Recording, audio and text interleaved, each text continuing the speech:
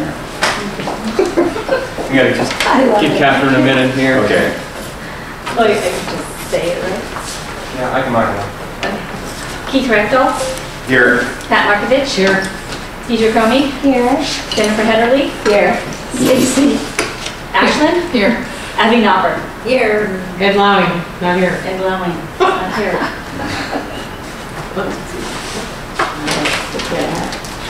here. We'll be making the lead on that. We're done, bye.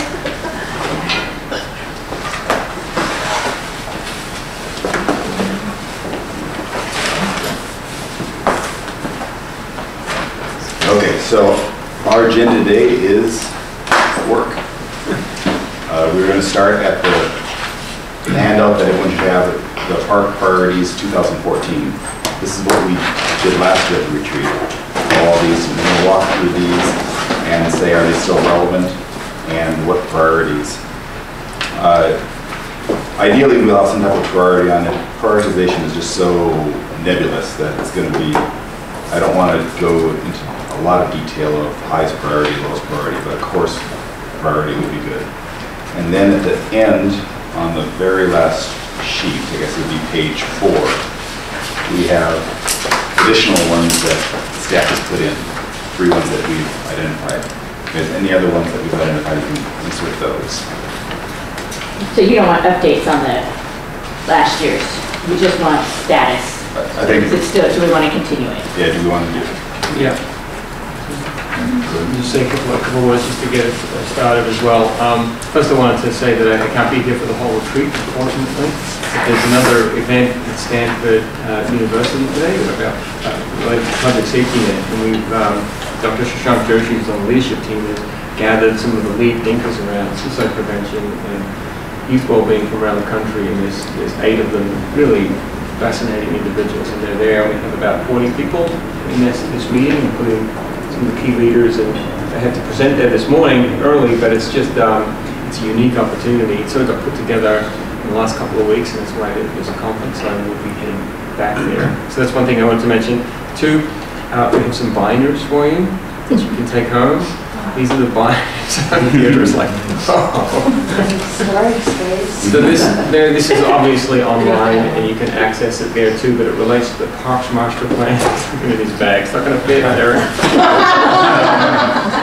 But this relates to the, the, the data uh, about the Parks Master Plan and trying to put it in, in a, in a way that we can access it a little more easily, and particularly important when we get to prioritization and, and um, defining conclusions and findings, that we can refer back to um, the data that's, it's not complete, but there's a lot that we're gathering, and the survey data is in here as well, which we'll be talking about on Tuesday, so you'll have a chance to look at that with the other data, demographic data, are things in your binders.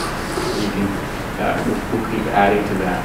So, um, wanted to mention that also, that Keith and I did on this as well, and he was just talking, talking about, it. the thought I had about the uh, first three pages, of the 2014 priorities, is to think about them, um, uh, if if they are still relevant for this year, and are they still actionable for this year in terms of a policy issue?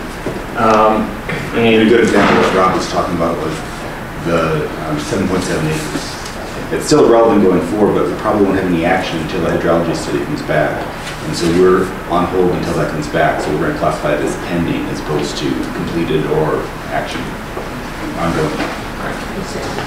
So, um, so the, so I think reviewing these, having a discussion about, you know, what, what is the commission's thinking? Because there may be differences of opinion about this too. Are- are Is it pending? Is it really relevant? Not, opinions may vary on this. So talking through those things and if there's agreement that yes, it's still highly relevant, we can still do some work around it this year, then we move it over to, to 15. And then, of course, if you're thinking about uh, this coming year, you would have additional interest that you want to bring up, and that can be added as well. So, um, I'm not sure the best way to, but we do have lunch here, so, and this is, you know, you didn't see this in advance. One, one approach might be to, um, get some lunch, and a little bit of a working lunch while everybody sort of reviews this and reads through it before we really get into it, which could be. And while the pizza's hot. While the pizza's hot, okay. That's because it's a hot item. Yeah, I think that's reasonable. Okay. Uh, The other thing I want to go about, um, I do want to go through some priority, and I think the easiest way to prioritize it is not by importance, because that's a nebulous, but action timeline. And the highest actions will be the ones that'll be in the next couple meetings, and ones that'll be three, or four months from now will be low priority. And so, otherwise we'll be debating what's more important. I'm never in agreement on that. I think timeline is crisper, so we'll, we think about these, think about timeline. Okay, let's take a break, have lunch, and be back. Start walking down the topics and then discuss relevancy on each one. Uh, dog parks, I think that's highly relevant. Uh, That's ongoing. and so- Hopefully we'll wrap up this year. okay. Do we have an estimate next time that we go to commission? Um, I think we'll have an update this month and then depending on, I would say probably realistically, June, what are we, we're March? May or June. Okay, So, That's right? Or after the public outreach? Or do you think we should talk to, maybe we should, maybe we should talk about it before we go to the public, big public meeting. So maybe April. when is the Next month. The meeting is what? April or May, I think. Your, your outreach meeting? No, we haven't set the outreach meeting, so the question is, do- should we meet as a commission before we do that? Or should we meet as a commission after we do that? My vote is after, because we've already talked about it. I agree. And then we can bring the results, and we will have spoken to all the stakeholders, and then, Okay. All right, so May, Has June. anything changed since the last time we talked about it? Uh, we've, Change we've had a couple meetings, no. But has the, our outlook hasn't changed at all? Things we're considering are still the same? There have been some minor, some additional options. Okay, we have so- stakeholders meeting, so. I think you should report back to us. We are going to. But let's and- do it all update. at once, like. But we won't have a full discussion on it. It'll just be an ad hoc, at the end, a ad hoc uh, update. Yes, Okay, so let's put down June as the next time we expect to see Okay. an agenda item. Then you guys will talk, when you guys have your, are you calling it a community input meeting? What, what is the meeting called? Is it for Public out- stakeholders? No, it's for everybody. Public outreach, so you'll Big- notify the whole commission and then we can go Yeah. if we want. Okay, next one is the website. Uh, Are we happy with the website, or is there still work to do? There's still work to do. It's moving very slowly. So let's put it, Uh, But I don't think there's a lot of work to do. I don't think it needs to go to the commission at all. I mean, if you're just working. on Yeah, I- we don't, we don't need to discuss it. Uh, Once we have it in a form that we think is final, If we we'll want run to through it. complete, with yeah. commission and to See if we then don't want to make any changes. Okay. Does that make sense? mode. We declare it, the- the revision completed, the maintenance mode is no longer actively being redesigned. Right. Then we should report on that when we get to that point. But the question is, do you want to stake in the ground so we get to that point? Yeah. And you guys don't feel like you need any more input from us, is that correct? You pretty much know I what don't you're think, doing? yeah, the last Okay. couple times we haven't really gotten a lot of input and I think we've integrated it, so My input is maybe just, we don't have to come back at all. yeah, my only input, I emailed you guys in separately, just saying some of those links mm-hmm. weren't working. I Right. going Okay, click on maintenance. I didn't Yeah, see you if got you got those fixed. Yep. It's, it's always maybe we don't informative. Back. Oh, I'm sorry. I just think it's always informative to go, go to the website and try to click around, because occasionally people say, how do I get in touch with Parks and Rec? I always say, go to our website. But what's strange right now is when you go into the website, that you have to click agenda and, um, the home site, it's not obvious how to get the agenda and items. To scroll, you know, to get to the current agenda, which is not ideal. The Yeah. most current thing should probably be high on the, above the pictures, that, that's the thing is that But you but even if you go to the city website and go Parks and Rec, you don't end up with Parks and Rec page with Right. pictures. That's the problem. Right, right, the commission, yeah. So, we say May for the website, Okay, I can, I can agree with not that. here. Okay, So May, Yeah. we'll have some type of a- agenda item. CIPs, so Rob, you're saying that the CIP's been sent, are going to council? For? Yeah, so, um, the timing for the CIP, so right now, we're in the process of trying to get the CIPs that we submitted and work with the commission on in terms of priorities and staff priorities through the, the budget process, which is, goes to the finance committee, um, and and May, right there, and then it's city council in June. And then, and then we sort of start over and start working on the, the next five-year plan. So it's likely it will come up again. Um, Would that be the 2017? Right, but we start thinking about that in fall, really. And that we're trying to, and last year was, was good actually, it was after the, after summer, we immediately sort of started engaging in a conversation about the CIP plan. So that's one thing that can happen, and then report back, of course, on how uh, the approval process is going, which you can also attend those, those council meetings and participate, speak.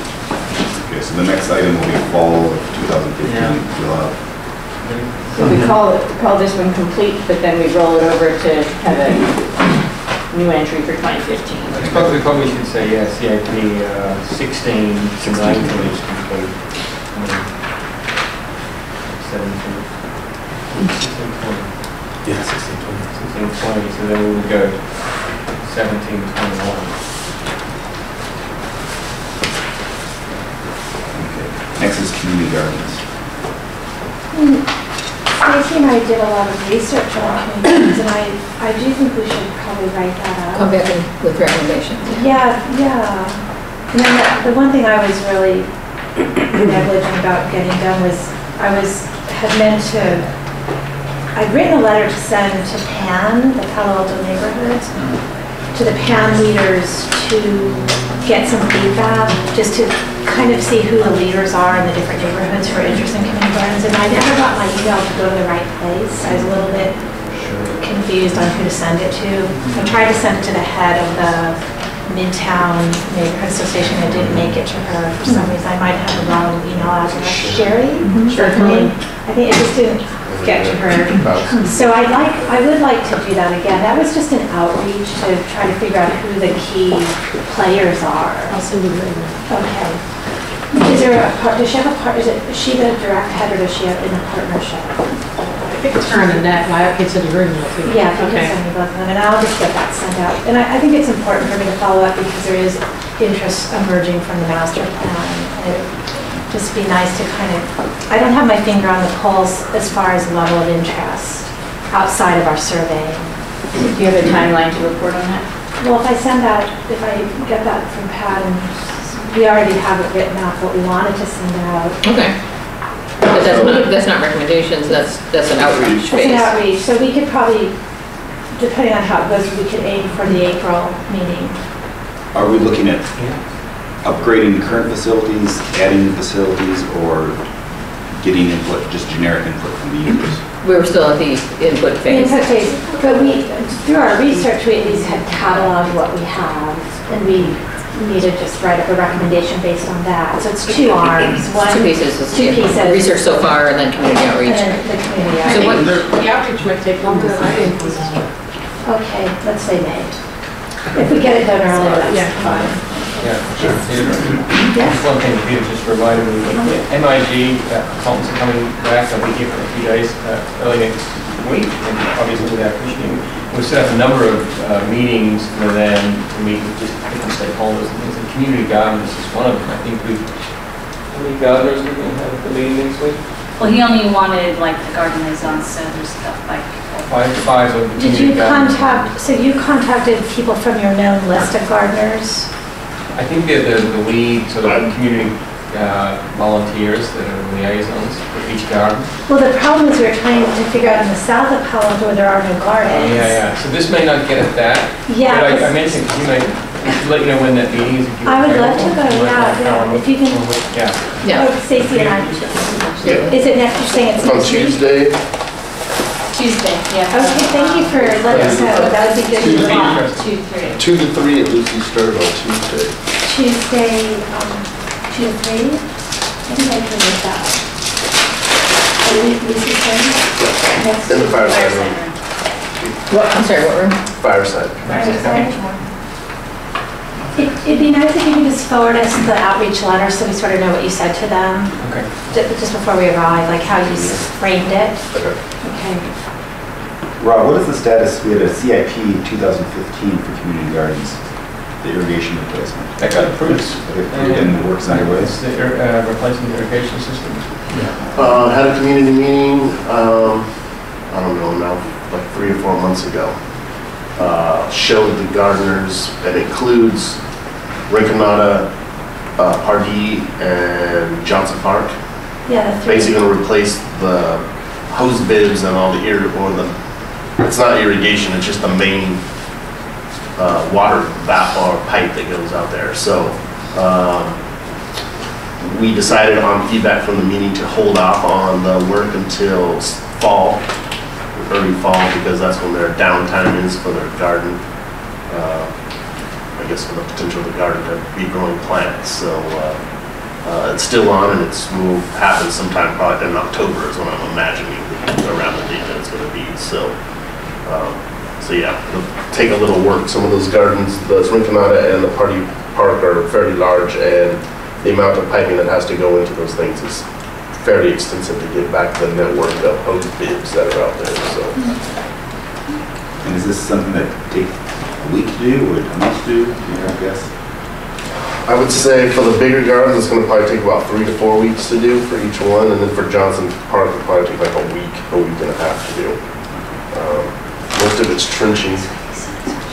Um, So, Okay, so May, May 2015, we'll talk about what we got on the outreach and then have more of that. Sterling Canal, Okay, so, um, Daren, I think, made one point of contact. So It was before our joint meeting with city council, and Yeah. then, I don't know, I think, I forgot if I got back to you and follow up on that. Yeah, I don't meant to, we but We were it. so busy on Byxbee Park, really, is what happened, so I really, I'm very anxious to kind of settle this, you know, where do we stand on Sterling, because it is, a lot of people have had their eye on that land for both the dog park and community garden for years now, and we've never really fully resolved it, so maybe we should, I, so it's ongoing. But we should look back in a couple of months, no later than, I mean, if we're putting other things on the table, maybe put it, you know, shortly after that, because we didn't have much to say, the findings were pretty limited I- as far as what we could do with the land. Well, I think we need, what we need, what was decided in the joint city council meeting was to bring it up to another level and look at it. So there's really not a lot for Commissioner Ashlund and I to do on that, but Daren, if you wouldn't mind doing that when you get a chance and getting back to us. So maybe once you go pursue that, we can have a, a meeting, just the three of us. Or you can decide to present to the commission and skip the ad hoc. Do you Okay. want to have it involved in so what you're waiting is, Daren. and what we have to get is what we're allowed to do. Ex- And, and maybe the, I, the, the tone that I got from the joint meeting was pushing back a little bit, Yes. not just having Public Works say, oh, that's just for us. Right. Utilities kind of give you a knee-jerk reaction to say, we're not allowing anything there. We have easements, we have use for the land, that's it. And that's, and that's what the council's message was. Take that up a little run and keep working. So I'll work with um, um, Rob and see if we can make a little headway with utilities and see where we can go. I I would also recommend, under the same kind of rubric of a piece of property we're not quite sure what we're doing with, very nearby is a little strip of land that we had once talked about for a dog run. Same kind of analogy, utilities says, no, we can't use that, um, it's part of our lease, if you want to take it over, it's $250,000 a year, you guys can use it for whatever you want. It's just an aesthetic piece of turf right next to the skate bowl area uh, end of Greer Park. And I'm not Across the just street? Across the street. it would be a great site for park. We said that would be perfect for a permanent dog park. Yeah. And so I think that'd be a great one to bring together, probably a sit-down meeting with utilities and we can kind of hash this out. Yes, please. So Okay, then, so- what do you want to set as a timeline? Yeah.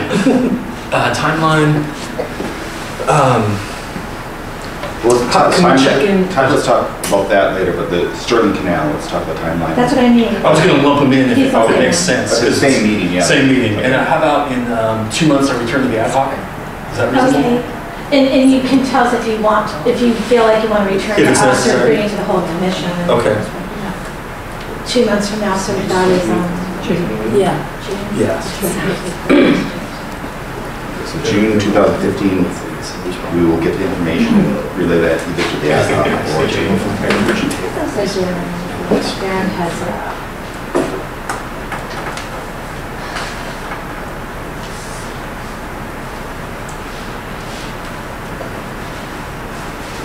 Okay, Lucy Evans.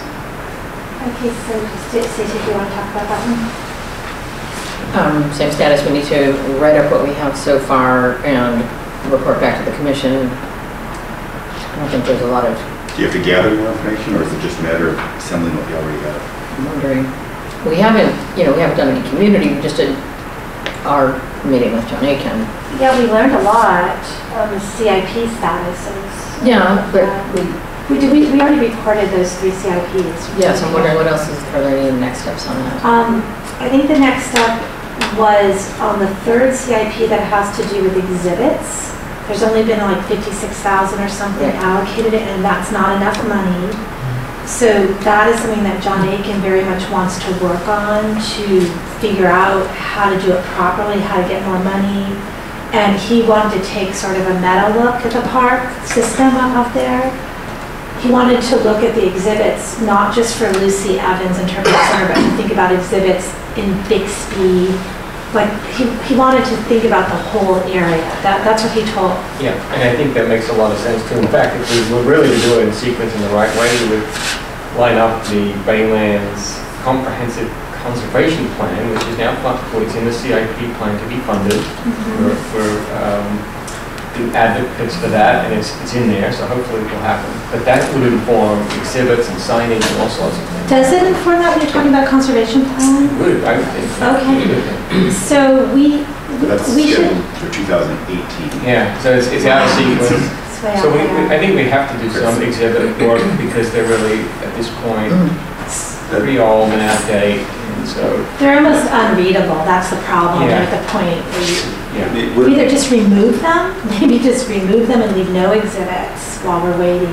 I really think it'd be good to have someone that looks at foothills, Yes, we talked about. yeah, this the other day, Arastradero right? and Baylands all at once, because you'd be duplicating, if you just look at one, a lot of the big picture stuff and Mhm. organization would be repeated by other people. I don't agree with that, though. I think once you lob them all together, we'll get, the just won't, won't happen. It's too big. Do we, they're totally different. Why do we need them all lumped together? Well, who's gonna make the exhibit, who's gonna uh, maintain the exhibits, all that kind of process is, is similar.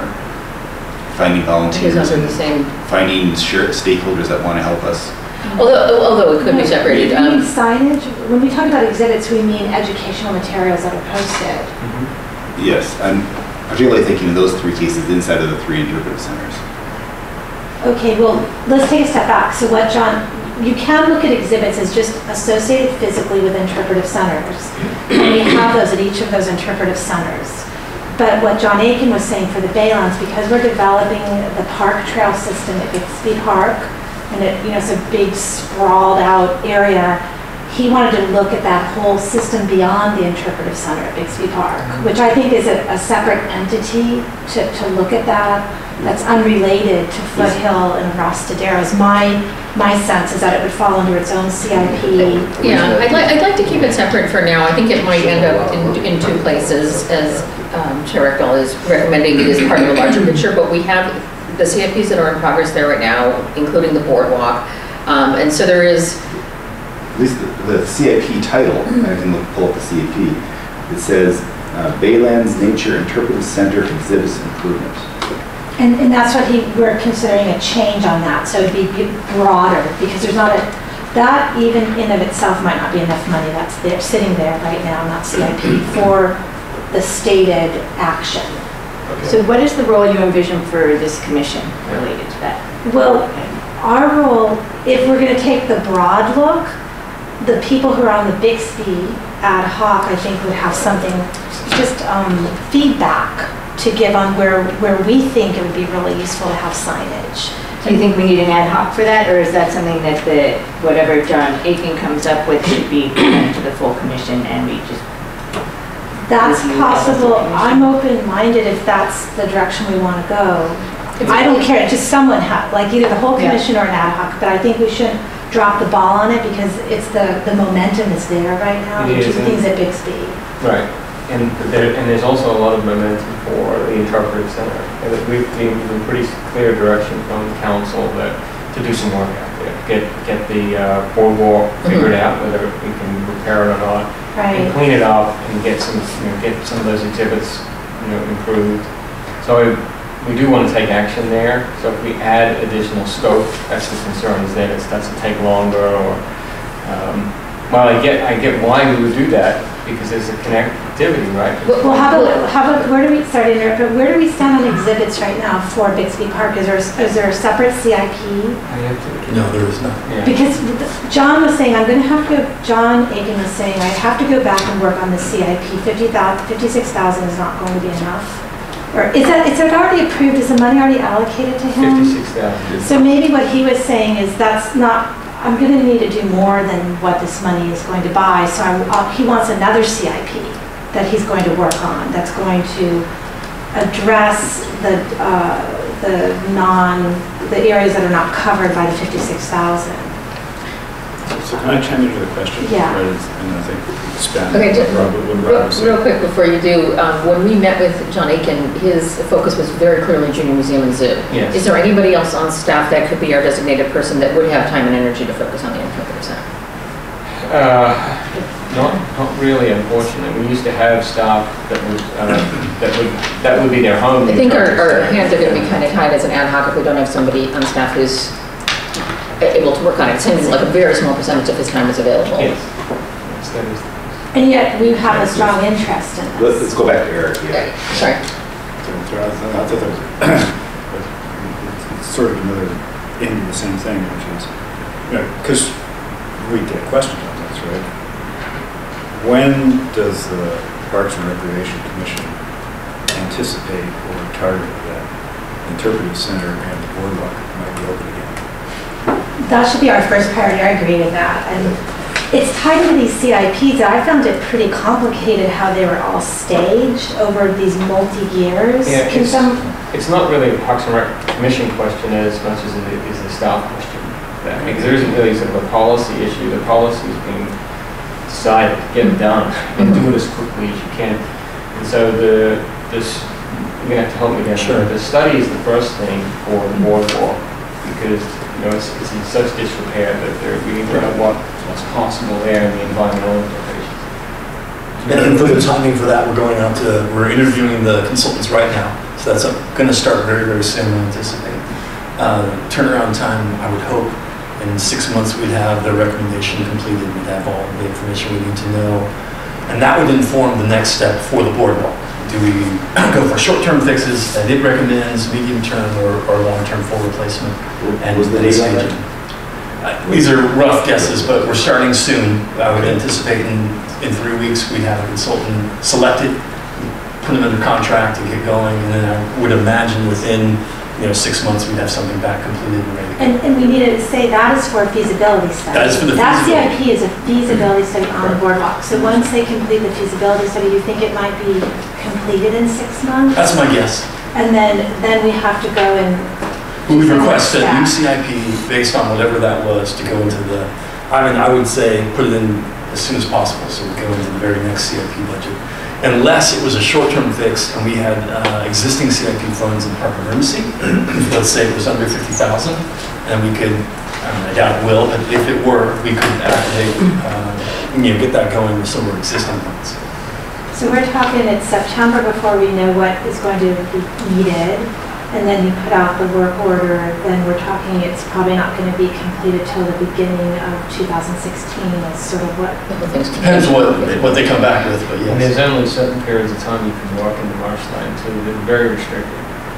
Um, Plus the permitting process. right, and so that's, Let me talk about so that one seems to be, that one's, that one's on a fast Yes.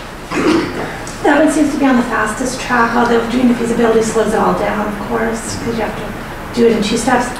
The second CIP is on doing the, um, doing some remodeling of the interior space, and it was written somewhat restrictively.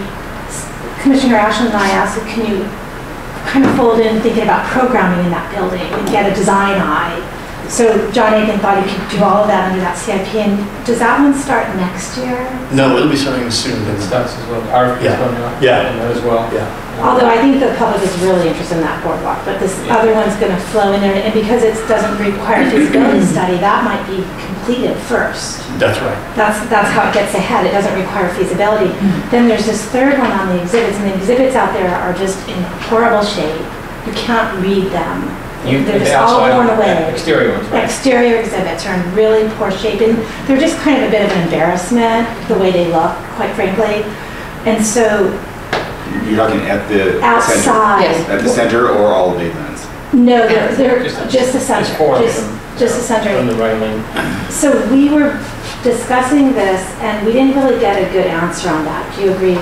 Right, the question was, you know, do we have any authority to say, you know, we need more funding for that third portion of the CIP to do what, what John Aikin recommended and what we agree with? The funding wasn't allocated, so how do we get in that next cycle to request the funding to do that?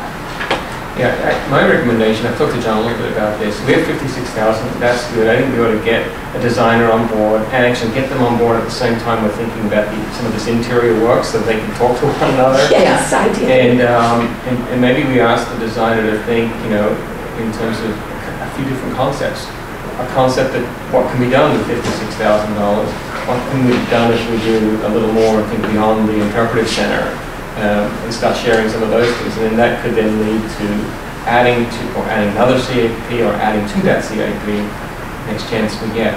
But it also allows us at least to do some things right there in the interpretive center right away.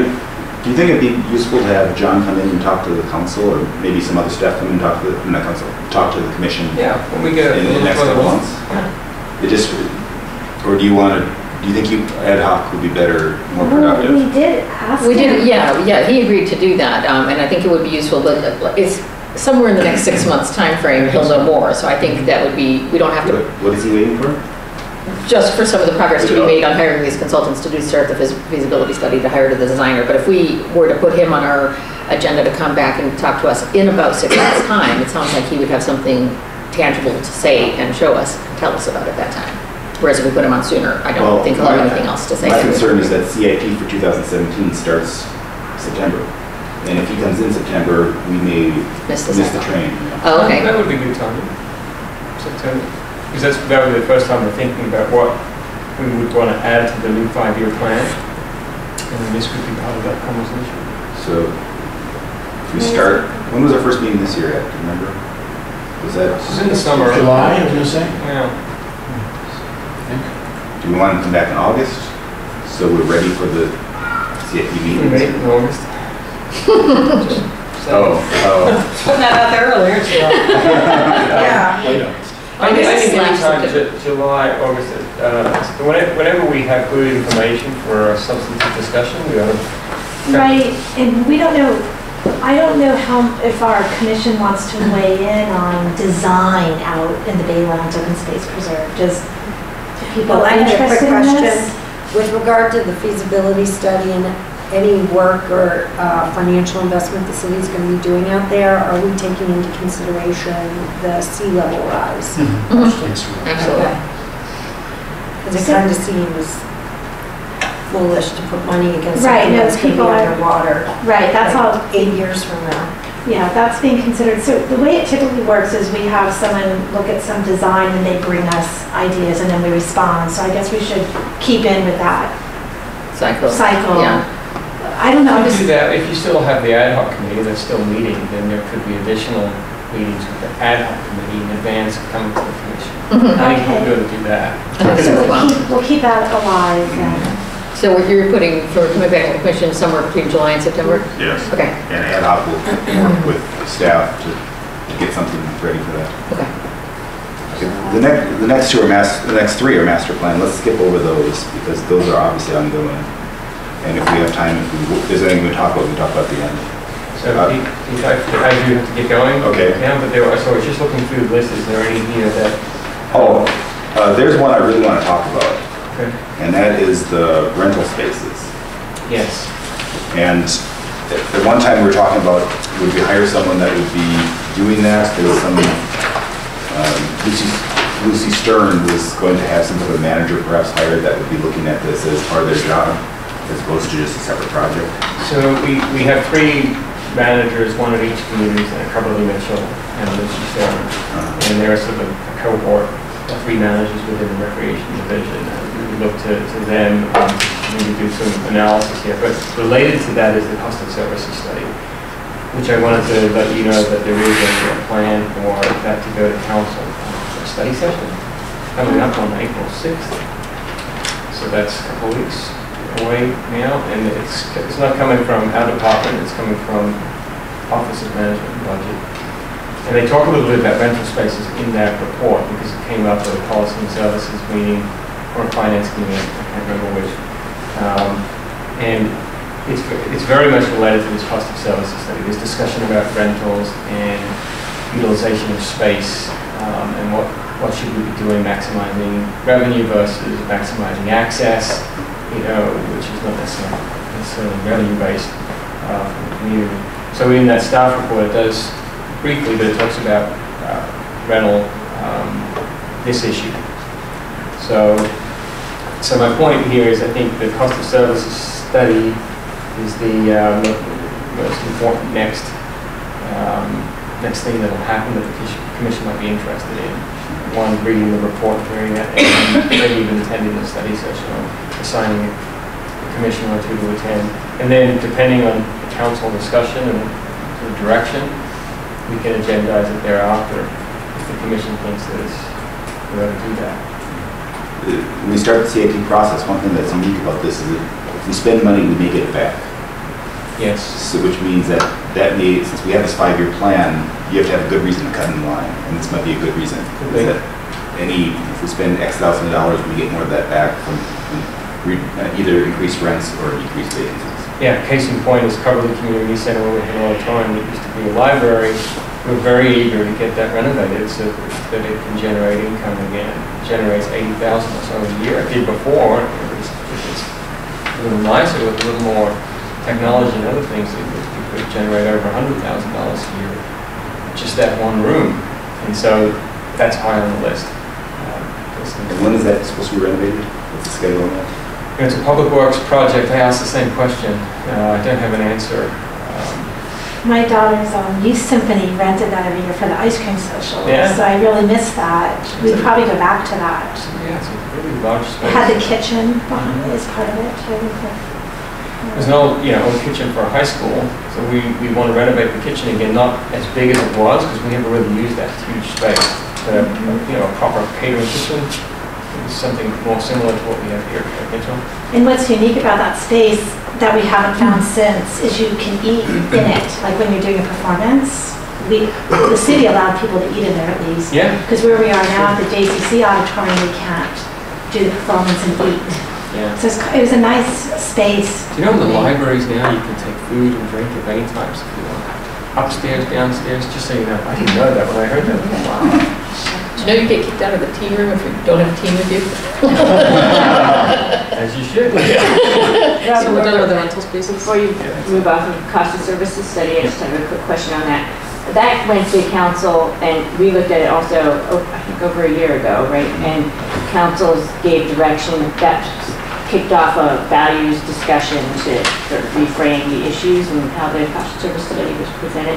Is that what this study session is about, is coming back with a new version or a new approach? It's pretty much the same approach that we talked about uh, as a commission when Lon Do came from, from our department. Um, They're recommending um, the three tiers of cost recovery. And it's a study session, so there's no action.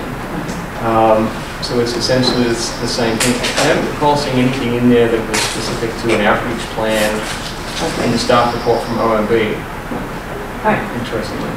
As soon as it's um, public, I'll send the link. You can see it now, and there, these reports are uh, going out two weeks, almost two weeks, 10 days in advance, and we more time to see them.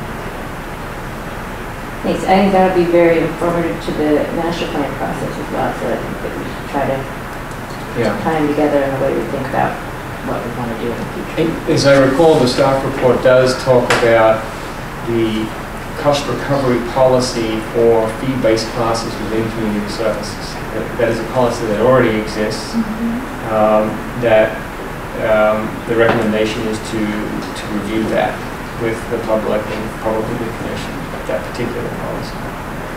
Should we, should, is there anyone who can volunteer to go to that? I'm out of town with that particular Six, six o'clock, I think, the. Uh, It does sound really important to attend. Is that videotaped, those study sessions? or no? Yes, it is. So, is there any other questions that anyone had for me before I leave, about any of these topics or anything else? It was one I was going to add, and I didn't know. Um, We had a meeting with the the high school regarding the most recent suicides, and one of the things that came up was the need for high school students to have a physical outlet. Currently, when you're in high school, the only thing you have after your two years of PE is to join a sports team.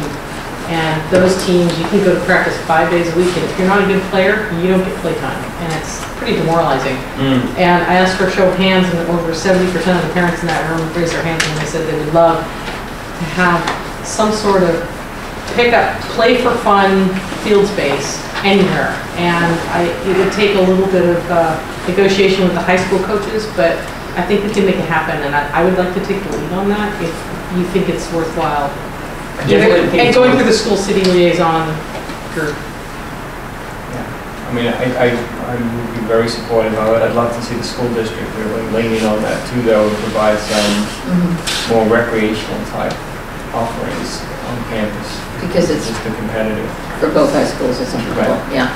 because they, they have the facilities. Yeah. You know, we don't have any gyms. I know, but they do. We're finding a way to meet, uh, the majority of needs, plus the needs are insatiable in some ways. Well, we've discussed that So- before, because some people want to practice eight days a week. Yeah. That is So defined as we're not days getting into that, but we've defined it as, you know, whatever it is, two, three time slots, whatever it is in the policy. And that, you know, that policy is meeting the need. Right. Even without alcohol, Move that up. Which is not being great. Finally. I So- know, I told I know. So along those lines, when we did the field use policy, we said we'd review it in a couple of years. I've lost track of time. Is it, is it time to just re, uh, reconstitute the ad hoc for review? Or do you think we can let that go for another year? You know, I think as part of the Parks Master Plan, where field use is going to be one of the topics, uh, you know, that we'll look at, is, is that's a good time, which will be this year. Okay. What we're hearing, how does it shake up next to the policy that we have? So we can dissolve that ad hoc, I, we, it- we didn't even, it shouldn't even be on, the- we didn't even do it last year. Easy enough to set back up.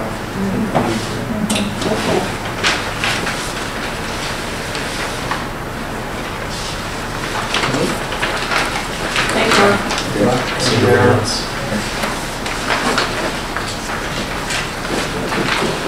Okay. Uh, Byxbee Hills Design, that's the next one. I think that's actually you on that one, not me. Yep. Keith. Okay, and that actually is coming to, we're coming back next month? Yes. Next week or? No, uh, if- if the agenda is not packed with master plan, um, that was one of the things, so whatever the commission wants.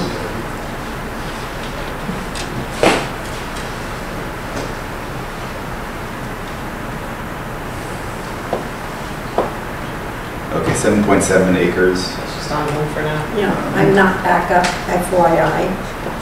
She's, So slash, she's Oh. both. I'm back up actually on the master plan community meetings.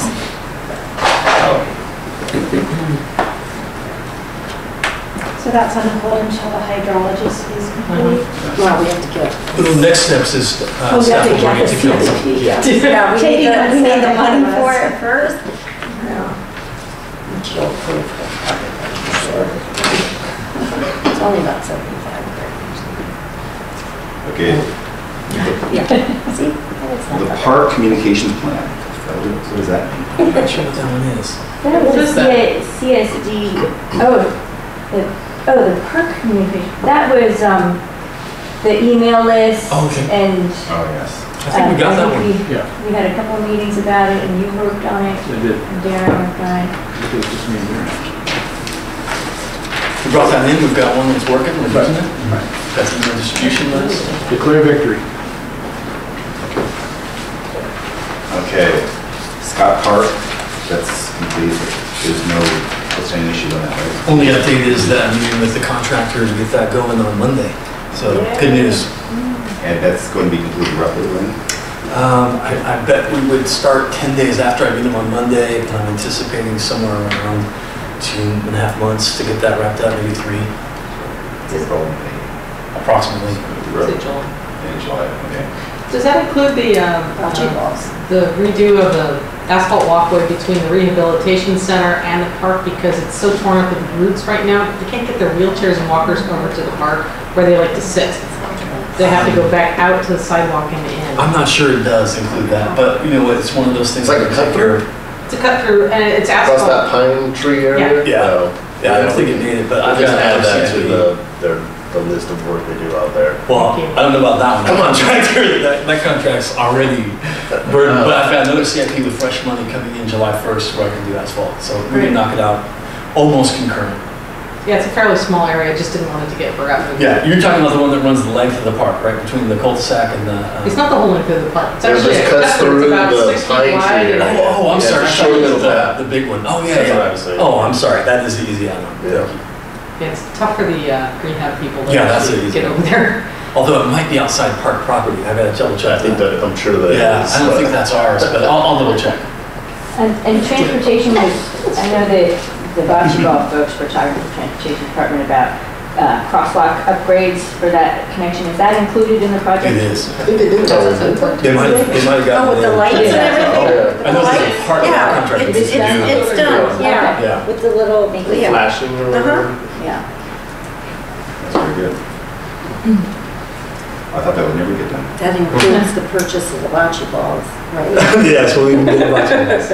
Because I don't want to hear about bocce ball ever again. That's where we're putting the meerkat habitat.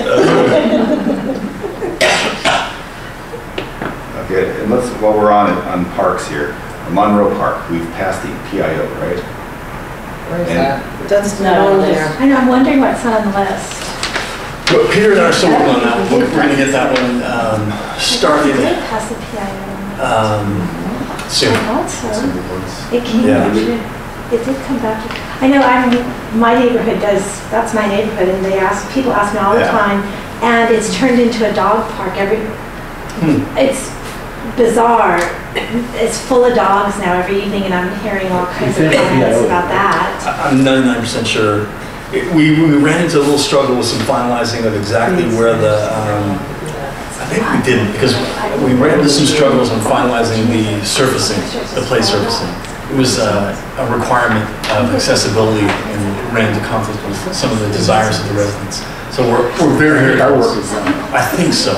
We can Yeah, double we check. just gotta I'll double bid it check. out, basically. is what they do. Can we make sure there's signage in that so that it says you're not allowed to run your dog, dog off leash There's- on the It's, park? every evening, it is a dog haven Uh-huh. now. And I've lived near, across the street from that park for 13 years, and it's never been like that. And I'm hearing that the smell is horrible. I haven't gone over there. Dogs are Check off, it off leash, you mean, right? Yeah. Yeah, it's full of off-leash dogs. It's a, there's a Send it off. big group of kids. Yeah, just send Yeah. it off, uh, it's seven o'clock at night.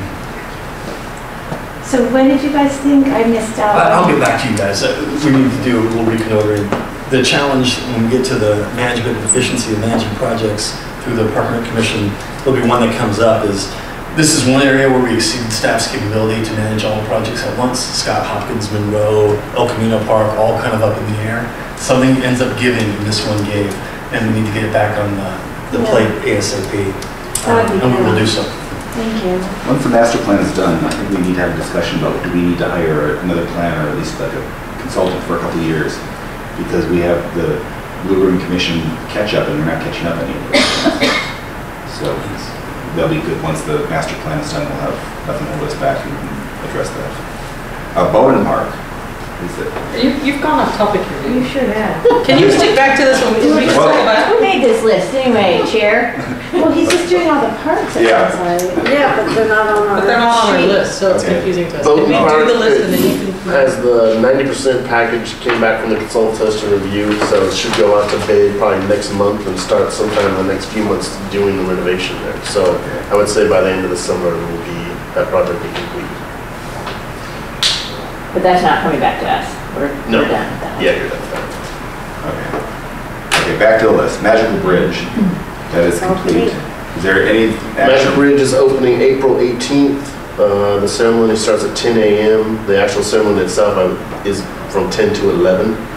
Uh, And then there will be, it goes to 5, so there will be things within the playground all day long. Uh, They're going to have enter- or, uh, entertainment on the stage, so they have some children's choirs and a puppeteer and a musician. Every like, I think, half hour, someone like performs for like 15 minutes. So that's basically what's happening. Uh, I expect the park to be completed by the end of next week. That's the schedule, it's, so. So it shouldn't be open to anybody who's not construction crew right now, right? Right. Okay, there definitely were people in there playing with drones or something yesterday when I walked by. Well, during the day, Oh, yeah, uh, afternoon, between three and four, could have been the ones that come, oh, between three and four? yeah. Oh, Just so happened to be there, large, cool remote control thingy. oh. Didn't look like she was working, but she was definitely. Oh, she, that might be the uh, Friends uh, aerial photographer. Oh, okay, okay. She brings a drone out every once in a while and shoots the progress of. uh, Okay. That they keep updating on their Facebook page so you can see a time lapse. of Okay, the- yeah, because it was pretty substantial. Yes. Okay, cool, thanks. It was official. okay. Hopkins Park, Hopkins Park uh, is complete. Project's done. well done. You might see, there's still a little fencing protecting the seed. We seeded the turf rather than we sod, so it's growing in. The fence is only to allow the seed to fully establish, and then that comes down. The rest of the park is open. Okay. The next, uh, for ad hocs to develop work plans and timelines. Um, I think that was an appeal for efficiency Yeah. from the ad hocs last year. That, That- you were worried that ad hocs were just kind of sitting and not doing anything? Right. That's a pretty good way to say it, yeah. So And there should be not only some specifics that are developed, very specific, but that it should come back to the commission regularly as opposed to just kind of hang out there, so. So in that case, I would agree with the word ongoing that they have on here, Yeah. because we still need to do that. Okay. CIPs we already talked about. Field use, It's gonna come back, we're gonna talk about it again as part of the master Yeah, plan. master. But I don't know, we don't have a ad hoc on it. Oh, these aren't ad hocs, they're on the Right, these are just items. Imagine you'll be meeting the field users on Tuesday, next Tuesday morning to have a conversation with them as well. Is that a- ahead of a, a a particular brokering period coming up, or just? No, it's just to get feedback from them basically about the status of the fields and their input into if we need more, things of that nature. That's good to know. Occasionally, we, I do get people from the community saying, I'm unhappy with the fields. I never know what, who to send them to. Who's, if there's a, is that, is it, no, we got, I got told by Rob, it's actually you, Daren, as if you're not busy enough. I, are Send you, my way. they really have to go your way? They can go to Adam and then we, we confer because he's doing the brokering and the brokering goes hand in hand with the maintenance, right? Too much brokering leads to poor maintenance. Okay, so you're the Yeah. contact person? Either way it's great. Okay, Yeah, be great. glad to, glad to address the issues. okay, feeding wildlife, is that in- totally done? It's totally done, in place and working well, improving the situation. Se- Several other agencies have contacted me recently to say, hey, I really liked uh, what you guys did, how's it going? What do you recommend in our situation? So we kind of, not that we're a leader, we aren't. This has been in place for a very long time for lots of agencies, but for those that have been in the same situation as us, they're excited that we've taken a step. Okay. I'm just gonna make a comment on this. It's complete, but when we do something that doesn't create an ordinance, it's a new law. Seems like at some point in time out there, we should have a, let's check in and see what's happening, and get feedback and see if there's compliance. Um, So that doesn't have to be something for us, but it'd be great if you could give us compliance 18 months out and say this is what's happening, what's happening. And then the underlying issue here, using this as a more global example, example for Eric, is just, um, generally, there's not enforcement on this. Almost by intent because there aren't enough police people to go and, you know, check if people are feeding ducks. But that news kind of gets around. So I'm not sure when we're making ordinances that we're not going to enforce what's going to happen. So just as a sort of general question to be thinking about for ordinances that go before council. Yeah, this is one that we are enforcing. Um, We talk to people every day about it, and this is just a tool that helps get those non-compliant folks that say, I don't care, I make it a law. Well, it Yeah. is a law now. If we see you next time, we get a ticket, Cool. it's been effective. Have you ticketed any? No one's needed to be ticketed. So there's no more bacon and donuts? Uh, Only when the rangers aren't there. It does still happen. I mean, I'm not saying that it's cured the problem, but it's much better than it was. Okay, seven point seven acres we talked about already. Arastradero Preserve. Yeah, that's something that I brought up last year, that there just doesn't seem to be enough parking ever there. Or if there is, it's jammed and they're parking down the road. And the issue there was, um, it's designated a low impact reserve, so we have to get almost a legal evaluation first as to what's available. I think in the short term, you're gonna try to squeeze in some markers or something. And then in the longer term, maybe it's part of the master plan or not. So that, that's where it was left? I was hoping for some clarification on that because during the week when I go, I always find parking and during the weekend, it's the big cycling groups who come in there and congregate. And so I'm not sure we should do anything with the big cycling groups that are coming from all communities.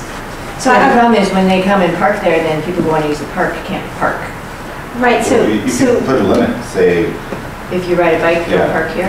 no, the limit is in two hour limit or whatever. That would be interesting. If you put a two-hour limit, then they would probably But find then you have another to place. enforce that, It's which, a tough one. Because there's a great place also down the road where that car commuter Parking lot, yeah. parking lot is at Page Mill Which and makes more Which is always a- overflowing. Well, it's always empty on the weekend. It's not that. Oh, during the weekend. The week, so I'd like some, can you do a little bit of back checking on trying to understand the parking situation there? During, and during the week, it's, under your observations, is it a problem during the week? I haven't, have you observed that? I've observed it, I mean, not as bad as the weekends, and sometimes there's a couple spaces, but I'm actually stunned. Sometimes when I'm up there, it's that crowded. Amazing. So, You could look at maybe a two-hour parking limit on weekends in the Arastradero lot. Not during the week, because it doesn't seem that's a problem. That, that might be. Is it your sense that bike riders are out, are parked there for a longer period of time than park users?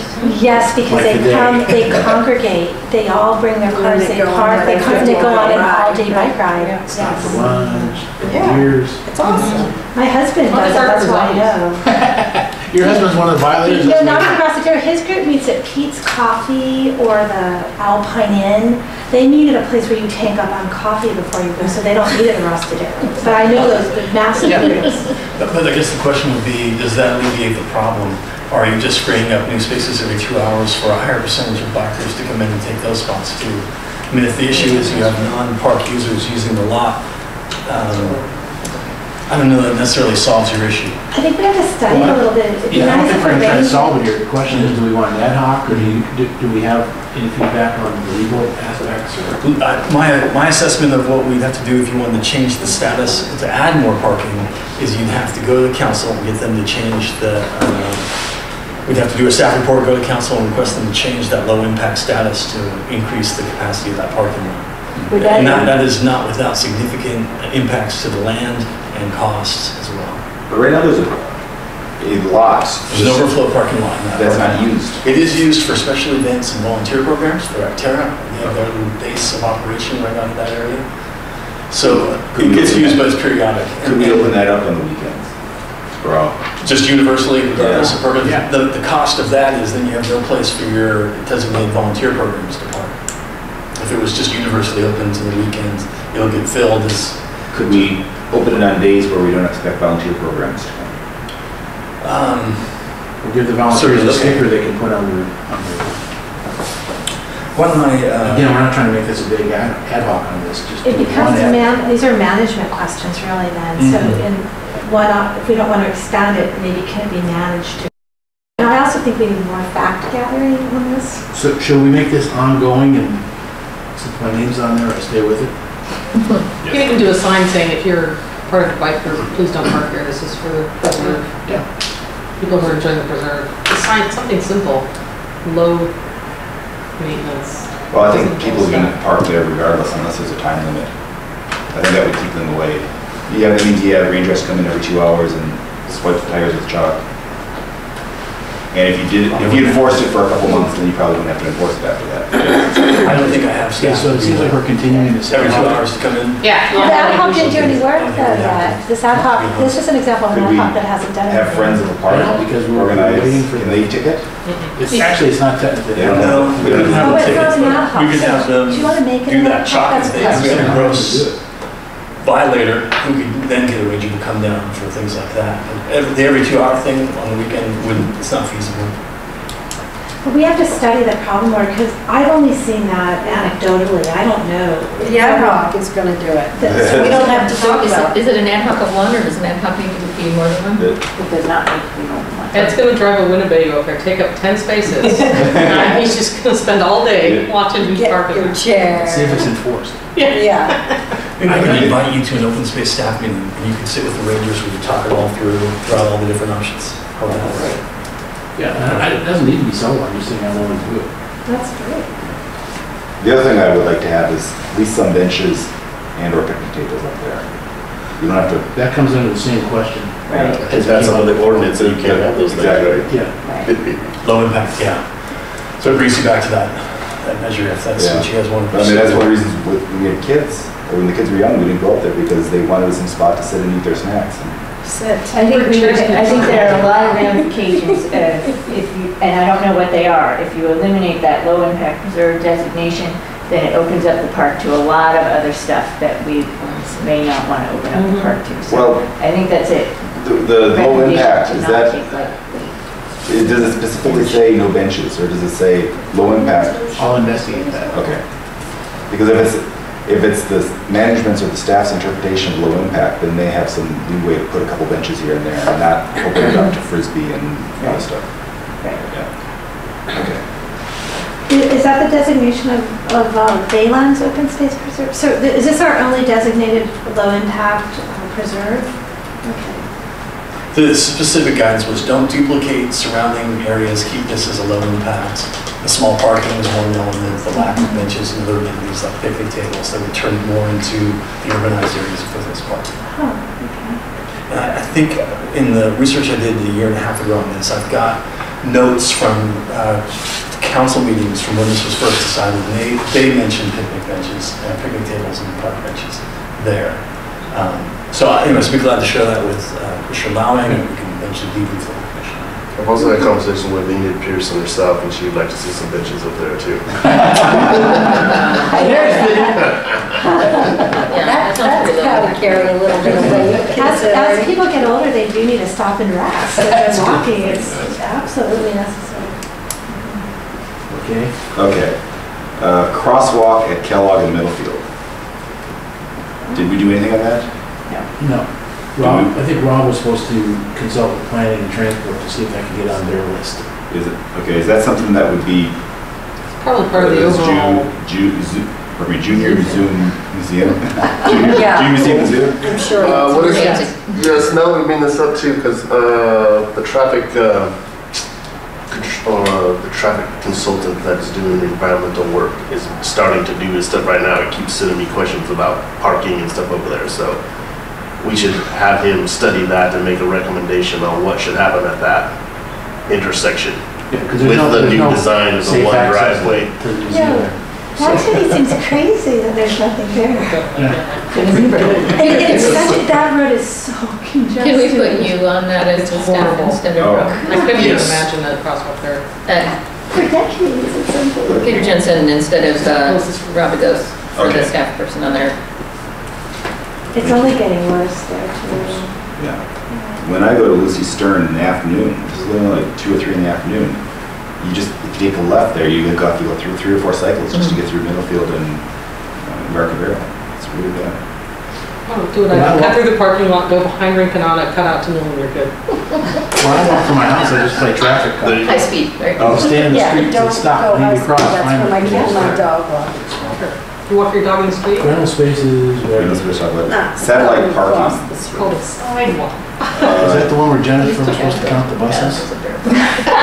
Yeah, I'm not sure why it was on here. I think that was just something we talked about at the last retreat because council was considering the additional satellite parking shuttles in the Baylands near the, near the athletic center and the golf course and the Baylands Park. And, um, we just wanted to pay close attention to it as it moved forward because we thought they were, there was potential for substantial impacts, environmental impacts. Is that satellite parking dead or is that still? I think it's still moving along. I believe we directed staff to go investigate or You did, like yeah. Previous council. Yeah. I would also note that council, the previous council was split on whether to do that or not. Mhm. Some of the people who voted to proceed with it aren't on council anymore. Okay. There's other people on the council now, so Yeah, this- encourage you to It's not keep, keep on top of it. This item came up from Council Schmid last year at, at the retreat to do monitoring, and then you volunteered to be the one to do the monitoring. So what was going on in council? No.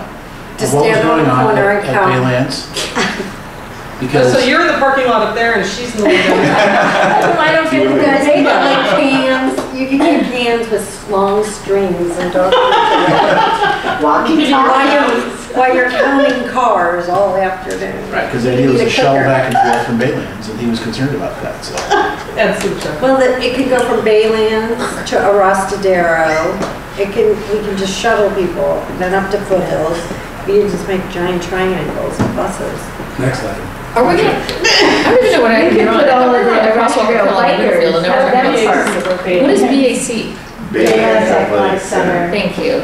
Okay, so as far as the crosswalk, are we leaving, uh, allowing on that? You're, No. you're still monitoring that? What was the Yes, status? with Jensen, And status is, Ongoing. ongoing. okay, thank you. Being studied. And rental spaces was ongoing as well. Mhm. Is But we're like, gonna tie it together with cost of service. Okay. And, and, and Hetterly, you are on with BAC stat, satellite parking, or you're not? I guess I am, but I wouldn't call it an ad hoc. I think it's just follow. Yeah, yeah, no, no, this is the, this is the follow-up page, not the ad hoc page. Okay, cool, thanks. And I would say this is on hold, satellite parking, unless council does something uh, more. It's just monitoring the activity. that's all it's- monitoring. Oh, monitoring, Just being alert. Council Monitoring activity, council activity. City activity. okay, not Yeah, I'm possible. not counting cars down here now. So traffic is very heavy, we need that. Yes. Okay, city class training for park. That was from, uh, there was some interest around some commissioners to tap into any kind of issue-specific training that is offered to city staff that commissioners might be able to participate in. Um, And Rob was the lead on that. I'm not sure, that- I'm not sure where, where he stands. I know we've gotten a lot, of- or I- I've at least seen a lot of email invitations to some of the nonprofit work that they're doing out of the um, Human Services Department. Um, I don't know if there are specific, if commissioners are interested in specific types of classes that would be helpful. I think Rob probably stalled out, unsure about what we would want and how to match it up. In general, Isn't the, that odd?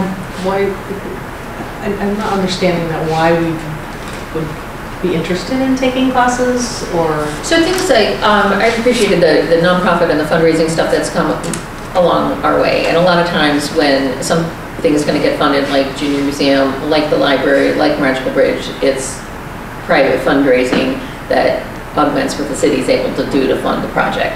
So I'm, happy when those things come across. I don't know what else we're missing out on, but I like that category. I find that category particularly useful. If we don't have a staff person, is Rob, we don't have a replacement on our commission for Rob. He's still, he's now in Greg Betts' position and his old position, right? Right. So I don't know if there's anything we can do other than keep in touch with our staff person. And if there's specific class offerings that we want to hear about, we let our staff person know, right?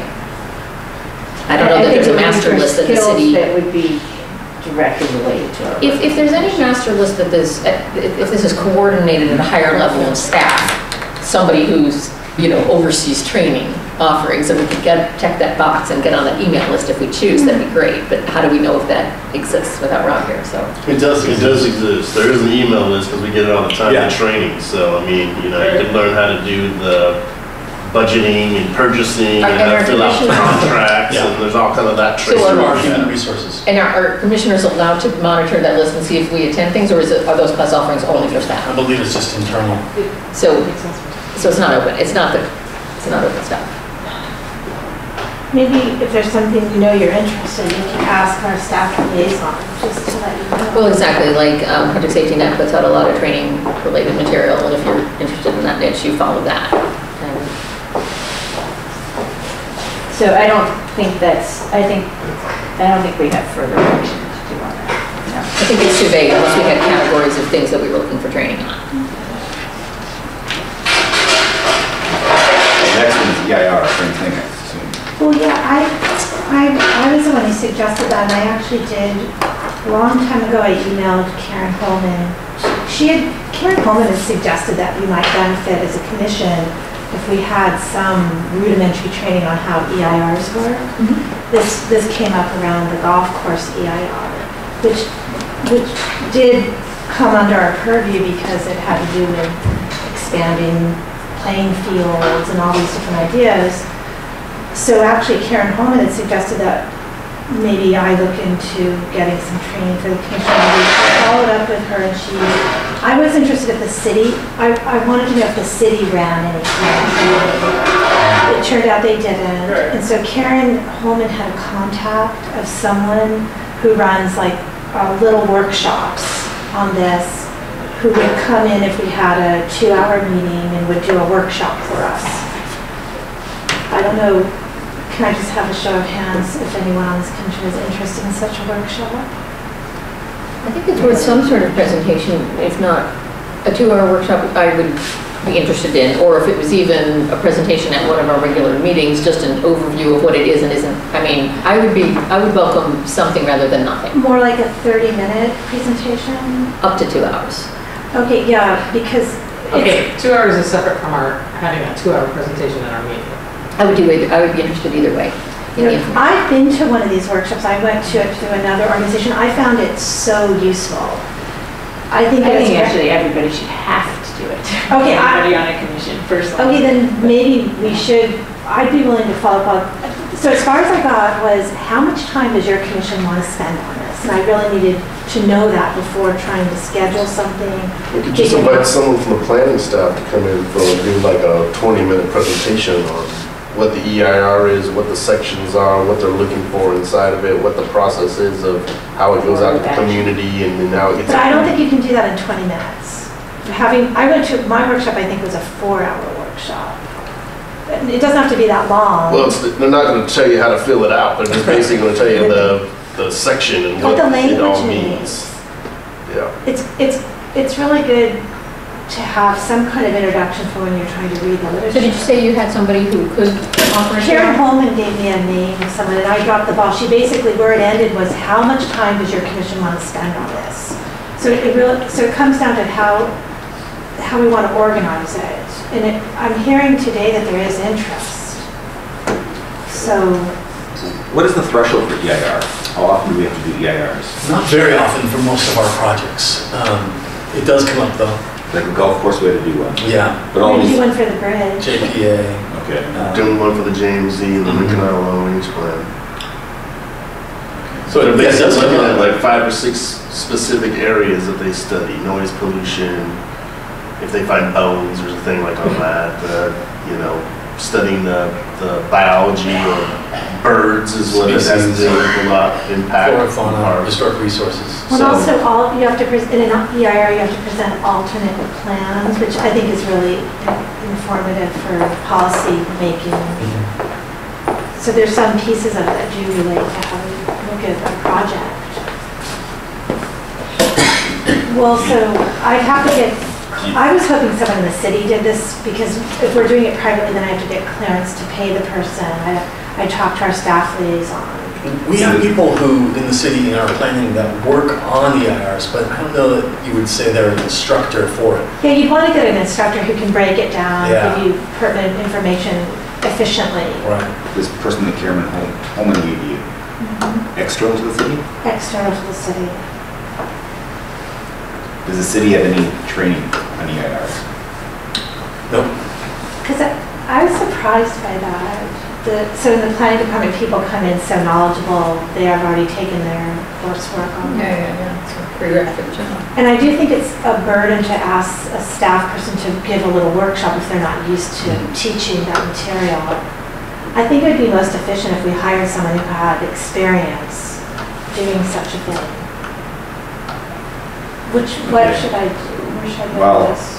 Why don't you talk with Rob and see if he wants to organize a uh, city, city staff uh, EIR training? And if they do that, then we can sit down. I, okay. So it'd be open to, so beyond our commission, or how about I just for I can't believe that we would be the only commission that would be interested in this. Right, but why are you saying it would be a city staff, a staff training rather than Open commission? to, open to staff and commission. Okay. Oh, so then the, the city then pays for it. is what Yes, exactly. Oh, I see. Yeah, clearly it should be beyond us. so, yeah. Okay, so is- do you think a good amount of time would be a two-hour work study session? Yeah, I don't think I would want to spend four hours on it, I'd be need to two. Yeah, Okay, yeah. okay. I I'll think follow up on get, get some that. prices and some dates and maybe um, coordinating with Robin and scheduling with staff. so we can- Well, It's nice to know there's interest. And if we open it up to other commissions, then we could, you know, find out how many we need to fill the room to make it worthwhile. Okay.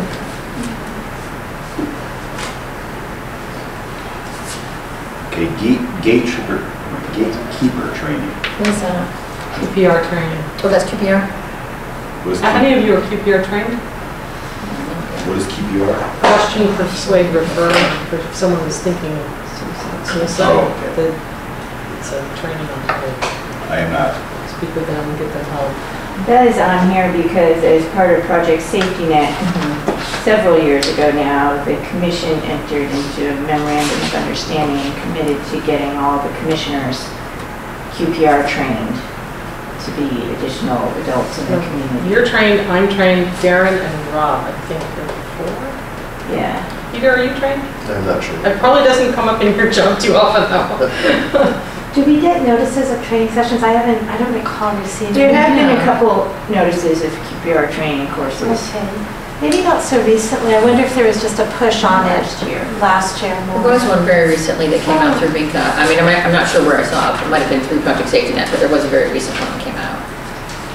Okay, I, I don't recall seeing them. Are they coming past us as a commission as a whole, or is it on separate Well, that- that's what I'm saying. I don't remember. I might have gotten it just from the Project Safety Net list.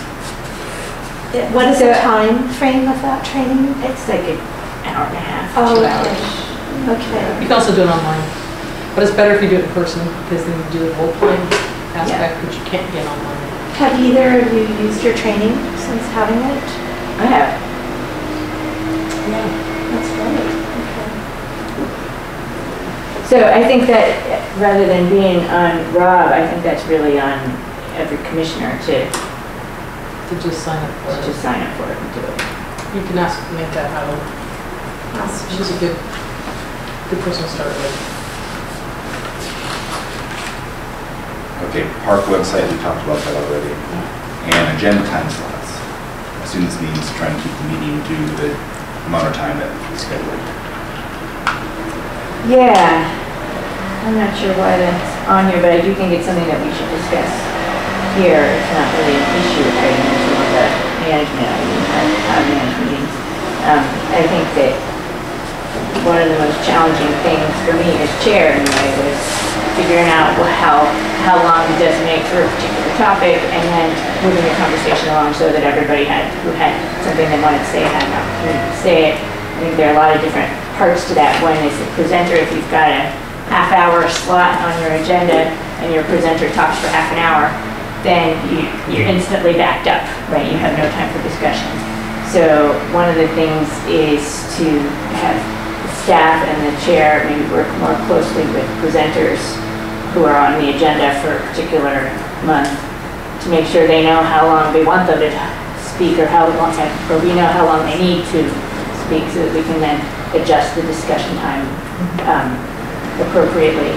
Also, if we've got 30 minutes for an agenda item for the discussion part of it, that's less than five minutes apiece to speak. So if um, one of us goes over, then that eats into other people's time, and I think it's just important to have everybody be respectful that everyone may well have something to say. I heard several, from several commissioners over the last year that they felt that um, as time backed up and we're, as we would get behind on any particular item, they would forego making comments in the interest of moving on the schedule as opposed to saying what they had to say. So I think that's an unfortunate outcome at the same time, there are a lot of times when people have a lot to say or there are a lot of issues and the chair doesn't know how much discussion is coming up and and it's inevitable that you will periodically run over, but it- that should be the exception and not the rule. And so I would just encourage everyone, since I'm not chair anymore, and, and- has to struggle with that now, I think it would be very helpful to him if commissioners would you know, come prepared with their comments and concerns prioritized so that we can welcome Keith to cut us off as he feels necessary to keep the schedule and then come back if time permits. But then you make sure you get your top priority issues covered before you get cut off. And The other point I want to make is when we ask questions, sometimes the answer ra- rambles on. Absolutely. And we, we spend 10 seconds asking a question and then it's five minutes coming back. I think we have to be more aggressive cutting them off. If we've got our answer, let's move on and move to the next question. Sometimes they can eat up the time of the meeting. I think another piece of this is uh, the agendas. Sometimes they're pretty uh, aggressive. There's, there's no way, you- you're looking at this going, this is not a three-hour meeting, this is, this is four and a half, or Right. it- to be more realistic in setting what is going to be on that agenda, um, sometimes I see that we're- where we've discussed a month before, uh, you know, we're going to do this and this and this, and then you get the agenda and there's two or three more items that have been uh, snuck in there uh, after we had discussed it, and it just really front loads the meeting, so we don't have time for that discussion piece. I think that's definitely true. Unfortunately, that's. And I understand there's some that are Beyond our control in many ca- cases, because we meet once a month, right? Right. So if there's a time-sensitive issue that Yes. needs to come before us, we'd rather But there's a way jam around it in and that. stay up late than not cover it at all. But there's a way around that too. Let's just be realistic and say, okay, well, this issue has come before us, and even though we discussed, we're gonna put it on this agenda for the next month, but these two have now come up, which are time critical, move this one that we discussed to the next month, Right. just so it's more manageable. Because people get tired as it gets late. One one area where I'd like to say I've seen good progress this year is that if two people in a row have talked about something, you can say, my comments have already been heard by my fellow commissioners and then move on. So that's an efficient way. You don't have to get your quotes in the paper or whatever it is. We're trying to get issues on the table and move on. I think there's been some progress there. Okay, so let's move on now to priorities 2015. Now, everything that we talked about is a priority, and I think we've listed at least uh, an an ECD date, or, you know, the next step date for everything. So that kind of sets our priorities there, but now, other things that we haven't talked about. Now, the Buckeye Creek study, I think we all talked about that already. Yeah. Okay, master plan, and then we also talked about the boardwalk, Baylands boardwalk. And relative to the master plan, we might want to go back to these ad hocs that we skipped over to make sure, you know, just sort of say, are they completed, or do we need anything more? And, you know, tie it back to that first Let- Let's put the master plan on hold, just because if we get everything else done, then we feel, because I think we could talk about master plan for a long time. So let's get the other things done first, so we feel more free to talk. Um, Does anyone else have things they want to add? I have a few things that I want to add. so, Well, mine was the high school pickup games. Okay. I, I'm definitely got the lead on that. Um, Commissioner Walsh, Daria Walsh, when she was on the commission, she just was passionate about that too. We never made that much progress on it. Yeah. But it's, since I've been sitting on the commission, we've talked about that, wanting something to be available, so I'm, I'm really grateful that you're willing to do that. Something that um, I'm not sure how as a commission can do or not do, or, but it's definitely something that's on my mind a lot is water conservation, um, and how as a commission we can maybe create uh, a communication plan or work along the city with some sort of marketing to get people to stop watering their grass, or just something, like create some sort of initiative and conversation in the community. And I'm not sure if this is the right format, but I think that since we, you know, Daren and his staff and Peter, I mean, they have to adhere to very strict drought rules at this point. Um, I just kind of feel like there is a way that this commission can maybe uh, be on the forefront of a conversation in the community about it. I'm not sure it's in our purview, but it's, it's coming through the, um, the utilities bills. I mean, they're gonna start fining you if you keep doing what you're doing.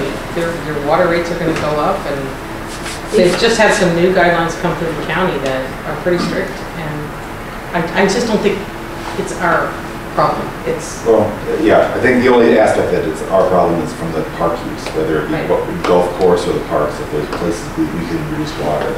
We talked last year, I think it might have been, about should we more or less intentionally let some areas go brown? Mm-hmm. To kind of just demonstrate that, you know, parks are behind that. And I think the feedback was the cost to replace that stuff is prohibitive compared to a little bit more cost for water, just on, a cost basis. On, on some areas, that's for sure. It'd be a commitment to say we're gonna let this go, because we wouldn't just let it go around. Most likely staff would sod cut and put down mulch, nice looking mulch, and then you'd never have to irrigate it again, except for the bubblers if there were trees there. Another option is the um, native plant landscaping. So there are investments associated with those transformations. Just letting it go brown, less likely, it usually will become a weed issue. Yeah. You don't, you don't water it and you have nothing but three foot tall daisies and other weeds.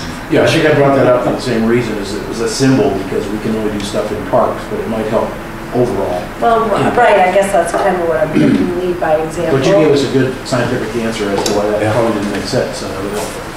Yeah, but we could, I mean, if you wanted to help, we, we are prioritizing areas, little, little landscaped areas, unnecessary aesthetic turf that um, are kind of on our to-do list to eventually transform. Some of it could call for a little public outreach.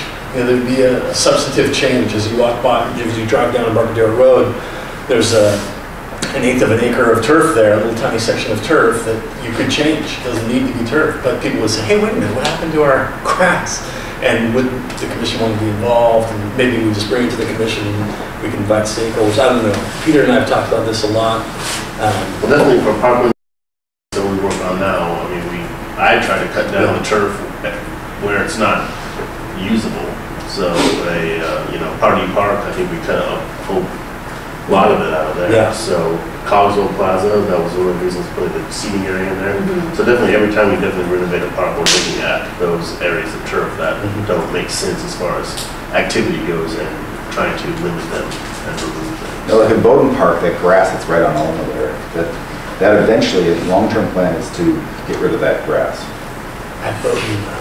Yes, the idea would be to a, uh, basically have a, a tree grove in there. You might want to The native tree oak stand, and that would then, the grass would eventually go away, would be removed. and the plan is to let- establish the trees before we let. Right. Yeah, I mean, so the, you know, the transition's not as fast, uh, but I guess it's more in keeping with kind of the transition that our society is on in general. You know, it's not like a fast thing, but it will eventually be that way, so. I have a suggestion to the the commission to consider. Um, Much like when dog issues had first kind of popped up saying we were underserved, every renovation was asked to look, could you squeeze a dog park in here? Perhaps a part of every park presentation where we're doing a CIP, there's an element that says water conservation. and It's a subheading of the staff Yeah. report. Thank you. You- Great. You double check what has been addressed regarding water conservation. It's all kind of summarized. You evaluate the plans to Great agree that it's idea. been fully, yeah, that's good. okay. It's really good. It would be nice to document that because I have done all the, the background work to figure out how much water we saved on that, but technically it's never published anywhere. I just have an email that I sent to someone that then Brad says at a one year, one time a year at a council meeting that we've saved so many gallons of water, but it's not tied to anything. I think it's a But I, yeah, to, to your point, like, part of getting people to stop watering their sidewalks, at least be more efficient, like if you're gonna have the sprinklers on, fix them so you're not watering the street in front of your home, uh, is that if the city is communicating, this is what we're doing, this is what we're doing, this is part of our planning process, this is where we've changed the flora of our parks, then maybe people will like wake up and say, oh, right, I should maybe rip out my grass and put in native plantings or something. Mhm. Well, That's something you could add to, I mean, again, our, our most efficient mailer is the utility bill, which I know doesn't go to everyone, but if you did do like a PR thing, like whatever, twice a year or once a year that basically stated what the city was doing to reduce water, just as a way to update people, might spark them to say, oh, well, we can do this all thing too. So, It it does go to everyone, actually, it's just that those people on auto pay don't Right. always open them, but it- everyone does get one. right.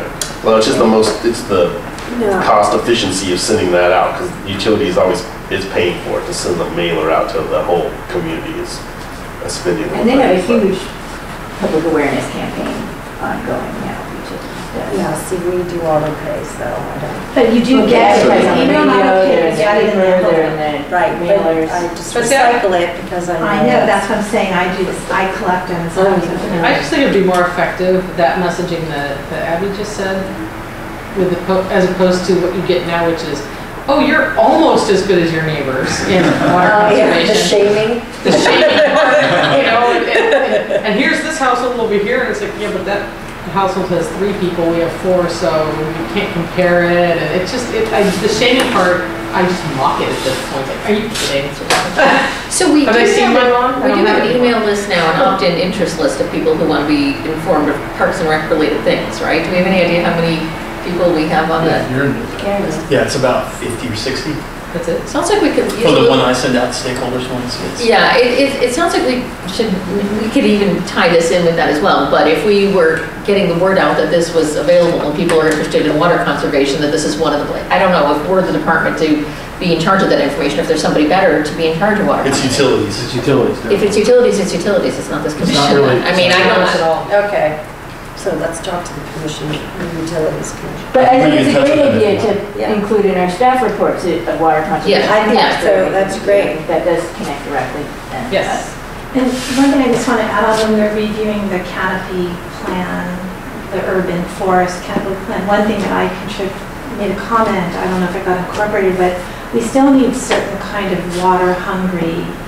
trees that drop fruit, that, that animals eat and provide insects and butterflies food. So not, if we want to have uh, wildlife still living in our city, we still have to be mindful of how water conservation impacts uh, living creatures, animals, and then have a balance, balance, a a balanced approach.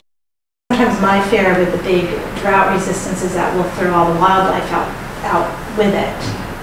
So I don't know how to, can we just assume that staff will naturally be mindful of that? Absolutely. So you don't. I know Walter Passmore and my team are, that, that we need a diverse plant palette, diverse tree palette, and then Peter is, and those are kind of the three, between Walter, myself, and Peter, that's who's going to be leading these, so. So it might just be nice if that's just commented on in the Mm. staff report, it doesn't have to have a separate section. You So know, Or or like, or like, I guess what I'd say is, what is the cost of this water con, conservation? So we're, we're conserving water and we're making, um, are we, are we impacting wildlife when we conserve the water?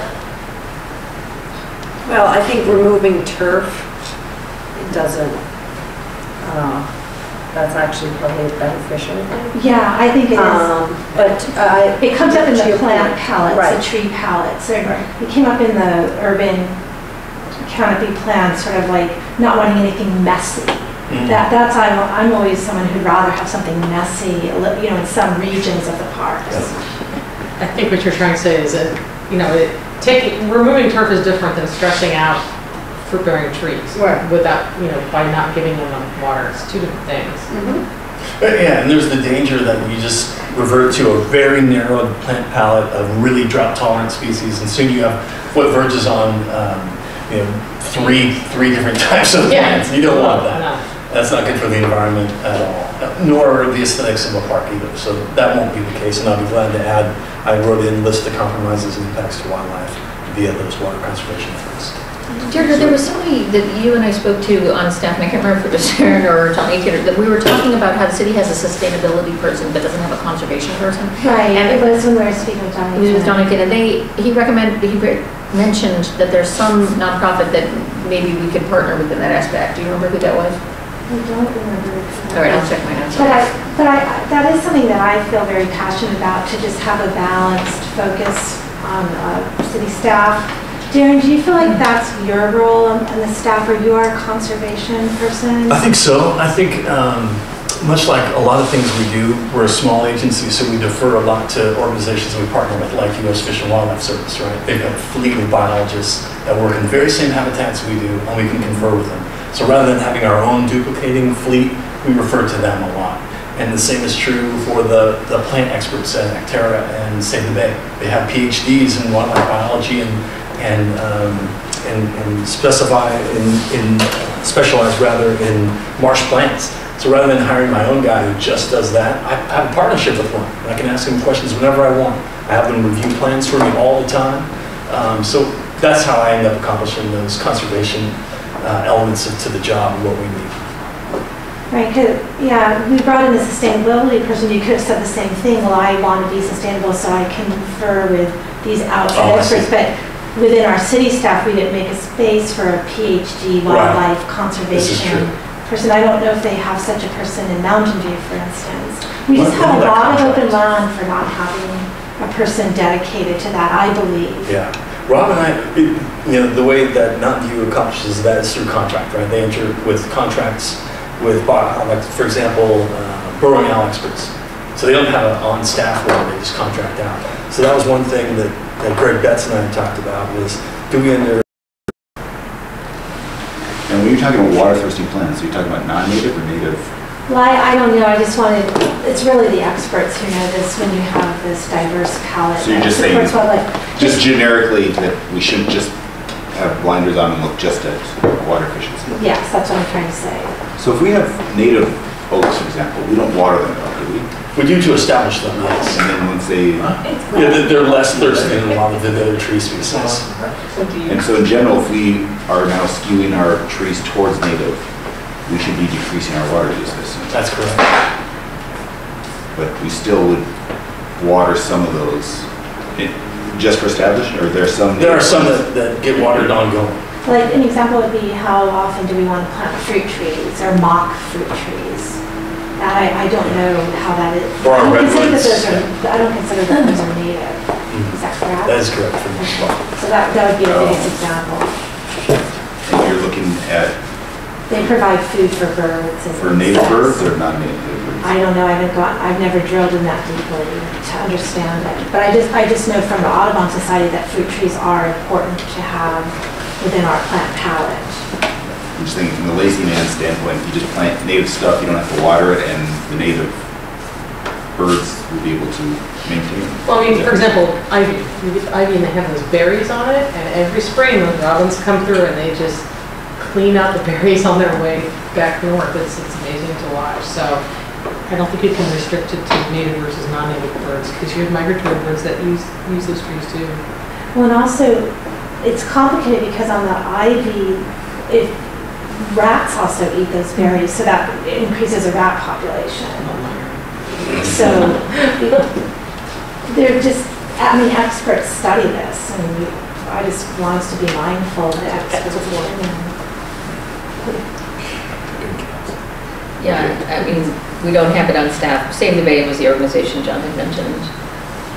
Oh, you guys, Yeah, I, I don't know, but, um, I don't know that there's anything that we as a commission can do other than wish and hope and that, that staff would someday have a conservationist. We don't have that, and I don't think that's in our purview to say that, that there should be, uh, correct. we don't get to say that, right? Staff, you should hire a Well, there conservation. was- Oh, We did say that, if we want to say that. Hmm? Yeah, we can say it, we have no. You're gonna follow But through. you know, I- I'm thinking by nature, uh, people who become rangers are conservationists because that's their, their passion. That's why they are rangers to begin with. They're- Rangers are approving and- and not approving projects and determining budgets. I understand that, but they can make suggestions because they know what's going on on a daily basis. it's different from a PhD biologist looking at, you know, Yeah. predator But but to prey Daren's point, it sounds like he draws upon all of Yes. the richness of the resources that Palo Alto has through our volunteer organizations that are willing to help us. And I might add, you know, there's a danger in saying, well, I hired the PhD, this is our expert in conservation. I, I have hiked through marshes um, with PhDs who couldn't identify a clapper rail. All my staff can, right? These are PhDs in the field coming out to look at native oysters. And I said, you realize, you, you know how to identify a clapper rail, right? Said, of course I do. One just vocalized, like 10 feet away. He had no idea. So there's a real danger in saying, well, we got our PhD, everything's set. Because there's a lot of different kind of PhDs, and it doesn't mean they have the field Right. knowledge that you need to, to run and make, you know, the right recommendations. So I wouldn't hang my hat so, so heavy on, on those kind of experts necessarily. Sometimes having this diverse group of PhDs that I have through this partnership may be better in some ways. Well, and I think also having conservation plans is a great protective Yes. layer. So as long as we, I mean, I would hope that we'll eventually have a conservation plan for every one of our open space preserves. You have the CIP right now for the Baylands. Do we have a conservation plan yet for foothills and the Ross No, no other ones have. And that, we actually, when we were reviewing the natural environment, the natural environment element of the comp plan, we put, we made, uh, Commissioner Hetterly and I made sure there was language in there to say we wanted conservation plans for all those areas. Yes. So that, that would be maybe really what we need to do, Yeah. is push those through. It's both in the updated comp plan and I wrote it into the updated urban forest plan. So you have two documents, if and when they get adopted by council, they'll both substantiate and call out for those comp plans. Good. Anyone else have additional priorities next year? So we've got water conservation, are you gonna have it on the creek under, Oh, yeah. under crossing? Uh, we can talk about that now. Can we open up the one under the freeway? We're not getting any more rain this year. It's- I worked so hard on that, Pat, you will never believe. it. I asked, when we were in our meeting with Elizabeth Ames, I said, can we open it, can we have one clean out and then reopen it again? And I didn't get that. That's all I wanted. I said, so the, first of all, we took five years to get them to say we don't need to be on a fixed calendar, but we can be seasonal.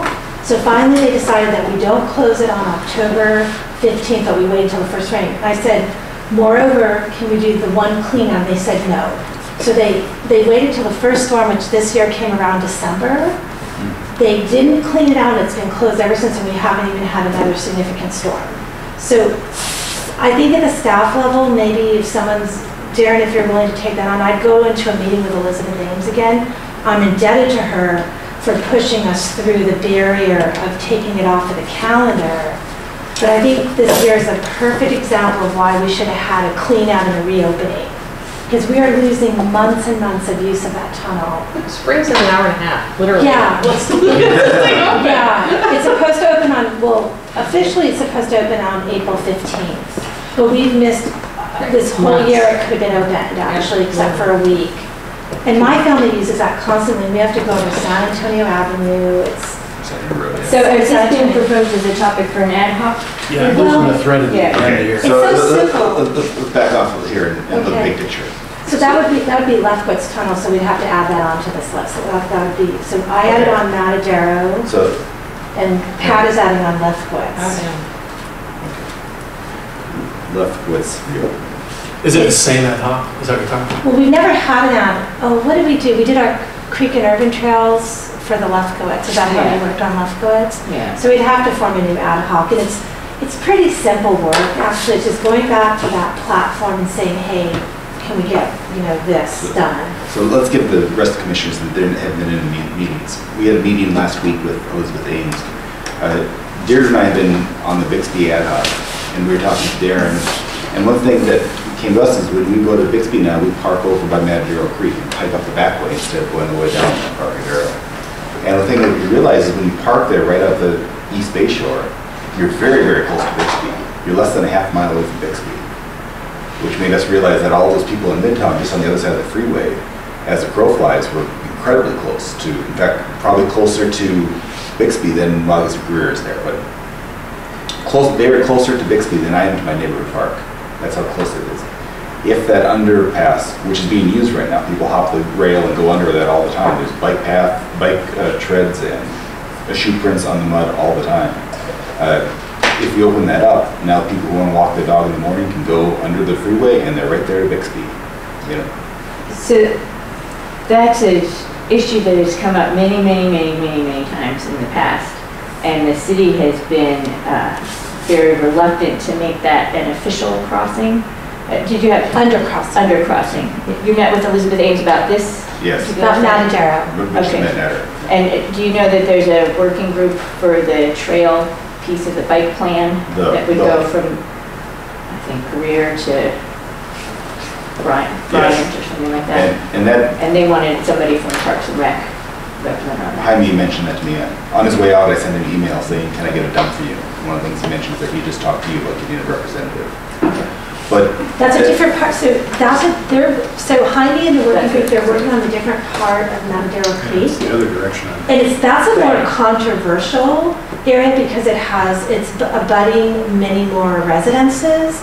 So this is what we need to strategize around, is, is it worthwhile to break off this section of Madero Creek that goes under 101 is sort of a separate effort, you know, maybe led by our Parks and Recreation Commission, maybe an ad hoc from us, to sort of say, can we work on this one section sort of in parallel with the working group, working on the big, long, you know, the whole of the creek.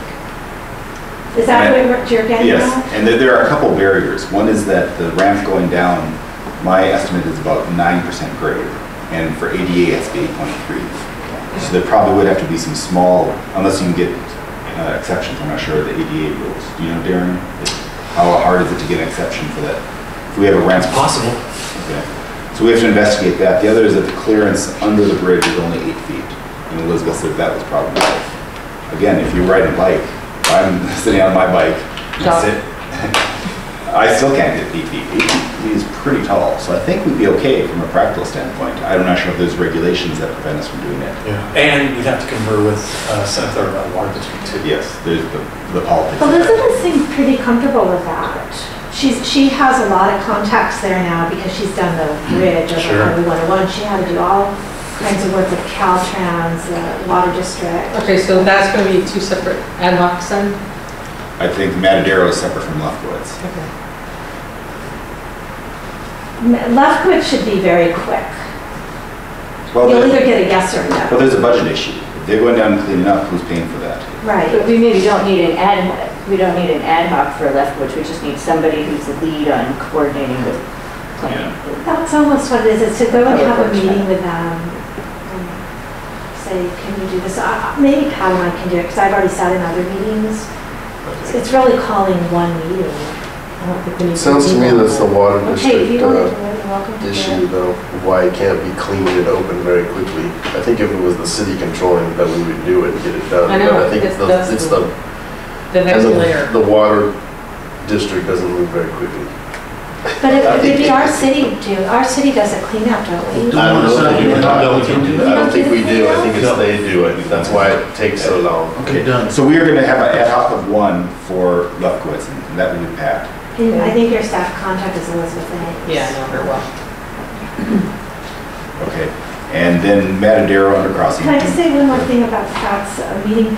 Is it a done deal that we can't keep Lefkowitz open once we build the new bridge over 101? Is, who decided that? Because I think a lot of people No, I'll, I'll ask her in that meeting. I don't think that's, I'll ask her. Elizabeth. Okay, because I, I was just curious if anyone here knew who had made that decision. To We not were pushing to keep it. Yeah, we were, do you know, Jeff, because we've, I don't know had- made this decision. And yeah, Okay. and what's the reason for keeping it open? it's just another route across. Just It's a more direct People, route. some people don't like going up over a bridge and they can go down to the tunnel. Especially for commuters.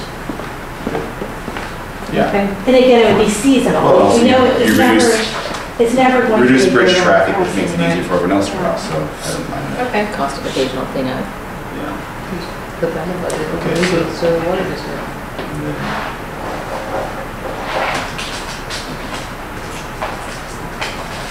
So let's, uh, How do you want to proceed with Matadero? let's see what, uh, with this initial conversation with Elizabeth Ames, what's the next step? Is she going to talk to, She was going to talk to Daren. yes, she, so she dug up some old planning and forwarded it on to us. So what, what she had, the documents that she has, has is a feasibility study that was done for the, for the bridge across Highway 101. They looked a little bit at Matadero when they were trying to figure out the alignments. Uh-huh. So I think she went back and dug out that study to try to see where, where, what the barriers are. Right, right. I haven't reviewed that yet. Um, I'd be glad to help work with you guys. We could review those together and see next steps. Um, We'd be probably pulling in Santa Clara Valley Water District and our Public Works team, and have a meeting and talking about, after we've identified all of the, So for now, let's keep on working with the Byxbee and then we may fork this off into a separate ad hoc. It looks like it's gonna be time consuming. you're envisioning Madero as part of the Byxbee one? Yeah, I think so. Because I'm thinking the Byxbee one's done. We're hoping to bring that, if you're talking about the, the plan, the interim plan, that ad- one's I'm talking about the ad hoc. Oh, I see. Not, not you, just I see. The group. I see. And then if, uh, we may get shot down and this may go away, or if it does go on, then we'll We can address try that then. Okay, so should I add it here as a Madero Creek Undercrossing Committee with you and uh, Commissioner Crum? I guess you can mark that down, and keep it on the list, well, I suspect. Okay. Okay. um, So Matadero. Those are fun. Anything else? Um, I think we should keep Project Safety Net as a, as a, something that we have liaison with, that we have. Do do we have a safety net? We, we used to have a uh, liaison to Project Safety Net for the executive committee on it, and when they redid the, uh, they reorged the committee and we were dropped off. uh, And I, Can we get back on? I'd Do we like- want to get back on? I'd like to propose that we get back on. I think that would be a good idea. There- But uh, it- it's gotta come from them, not us. We can't, There, yeah, the them is Minka and, uh, Minka. What's actually the whole, The they leadership just committee. hired a new director too, so. Well, usually our staff, Rob was, Rob was the one Because who would we be did that. instrumental in helping Yeah, but he's decide he's that. moved on. He's, He's, has to move on, he's got too much. He asked what they asked. No, I'm saying, he's probably going to have to move off because he's Too too busy, yeah. But Okay. I mean, if someone from this commission wants to do that, I, I think it's great just to have those connections between our commission. I would like to be that, I'd be glad to share that liaison with you if you want to stay on it, Oh, or. no, no, go ahead. Five years is enough. So Stacey, uh, let's propose that you're the ad hoc of one. It's not really, it's not. Or is it an ad hoc or is it a it's follow? It's a liaison. liaison. Okay, liaison then, liaison of one. Uh, And we'll see if we can get you in the door. If you can't get in the door, then I'm already on the list, and I was, you know, going to the next meeting, and I've been pushing to get a new a director back in there for a long time, and Are you going to the community meetings or also the exec board meetings? I'm not, I wasn't on the leadership committee. See, you need to be on the leadership. committee. Push for that.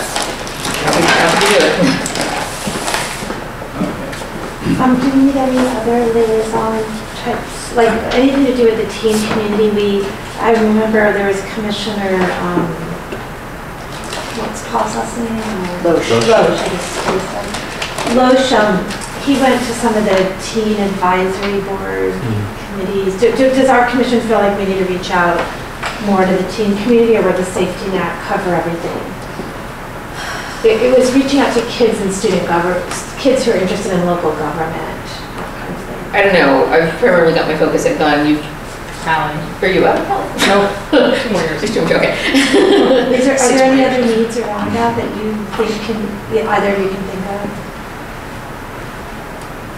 I don't think I can take more on than what I've already got it going, so. Pat, is there anything? that that you already serve, uh, serve for? I'm, I'm not, Something else. um, mine's mostly PTA, it's not team advisory. Um, I, I don't know, do we need to have?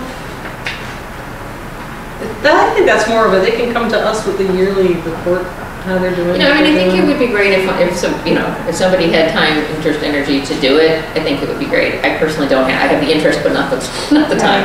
So, um, Okay. I went to that senior summit about a month ago. I loved it, but they're only doing it every year, and I would be on the commission the next time it rolls around. It'd be nice if somebody else. Well, if you know you know, that's another thing, so you know you're not gonna go reappoint onto this commission? senior summit is in sure seniors in high school or seniors Uh-huh. over Seniors, 65? oh, Over 65. Okay. But that's another thing, I'm not, I can just make an announcement here, I'm not going to reappoint, so that's another thing is to like look for more fellow commissioners. We can all, you know, know if you have other, When does your term expire? this year. October. December. They just December? extended They moved it again to December. December. Never getting off.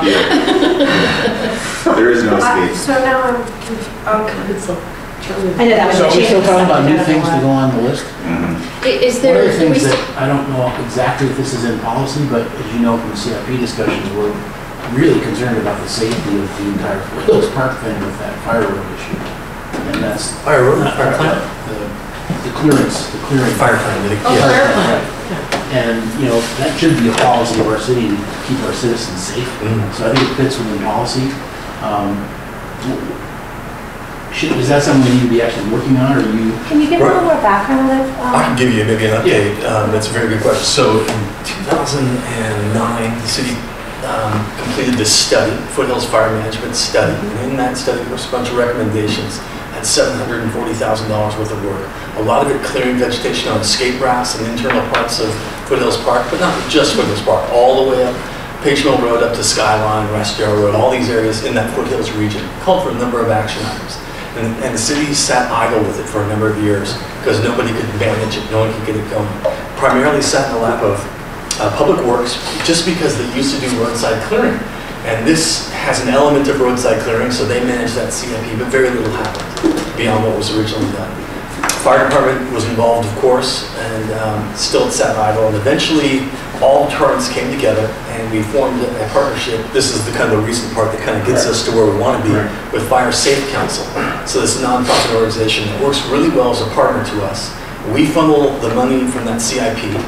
We, we didn't get $750,000 to implement the plan. We got 250 and it sat idle for about four years. So we're just now exercising the last of those funds, primarily through this partnership that's now set up where they contract out with various contractors like, um, like um, CAL FIRE, for example. They contract out their crews and they come in and do this clearing that's called for in the plan. And so through that partnership, we're now able to really utilize and meet the goals of that plan. Before we weren't. And so now we've exhausted just about every bit of that last funding that was left over from that previous CIP. And we put in the funding requests ongoing for this one as a CIP. It was denied, as you probably know, and that was the concern. Well, your, your funds for, your request for new funds was shot down, what are you gonna do about it now? And so we went back, as a team, we formed this, this group that meets, I'm the chair, and with the fire department, public works, and utilities, and CSD, we meet every, every month to discuss this, and we came up with a plan. We rehired the author of the fire plan to update it, give us fresh numbers, reprioritize the work that needs to be done, and help us form uh, really substantial and justifiable requests for funding. Um, ASD said that we don't think this is a CIP, we want this to go into your operating budgets, so we divvied up uh, the relevant portions inside the park fund request will come from CSD, it's about $74,000 a year. And outside the park, 64,000 or so for public works, so that's the roadside clearing. And then fire is requesting 60,000 a year for um, hazmat, or sorry, fire assessment, fuel load assessment, and implementing the controlled burns. So those are kind of the three elements of the fire plan, broken up for the departments. And now we've got the request in right now, we'll see what comes. Right now, it's still on the plate, and everyone understands the importance of it. Um, Would it be valuable to have the commission advocate? I think so, because during our, our meetings, ASD came to meetings and said, well, give us a tiered approach. I understand this is what Carol Carol Rice, the author of the plan, says you need to realize the goals. What, what would be if, if we didn't quite get all the way there? And what if we just kind of lowball? And that, that was scary to hear, that someone would those options in this kind of scenario. Understand the need to ask the questions. And so we tried to formulate the answers in real impactful statements. If you went for this option B, you no longer have safety zones for police or fire, and they're not going to come to the calls, or, or things along those nature. Your, your picnic areas are no longer safe as uh, for fire fire safety. So we try to formulate like that, and we'll see what comes. Maybe if we, maybe the answer is if we don't get the funding we request, then we form a team to, to issue a memo. I think we should be more proactive. We have a major safety problem in our biggest park. That seems to be a policy issue that we might want to chime in on. Yeah. Right? You guys have been shot down for years on this. And, you know, for us to, whatever it is, make a resolution that there are these three buckets in the budget, and council needs to approve these three buckets for safety in our, in our, in our park. You know, we'll get the, we'll get the wording right.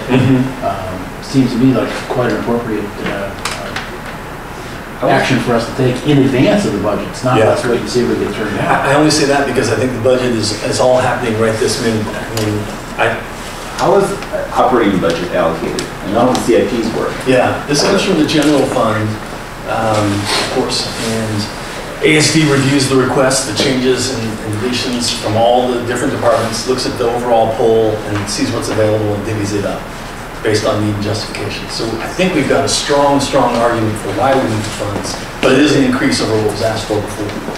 So ASD puts together the budget and then submits it to the council? Yes. And council- Well, finance committee and then the council. Okay. So this is really an issue for finance committee then? Yes. Mm-hmm. Do we want to go to finance committee? That'd be useful for you.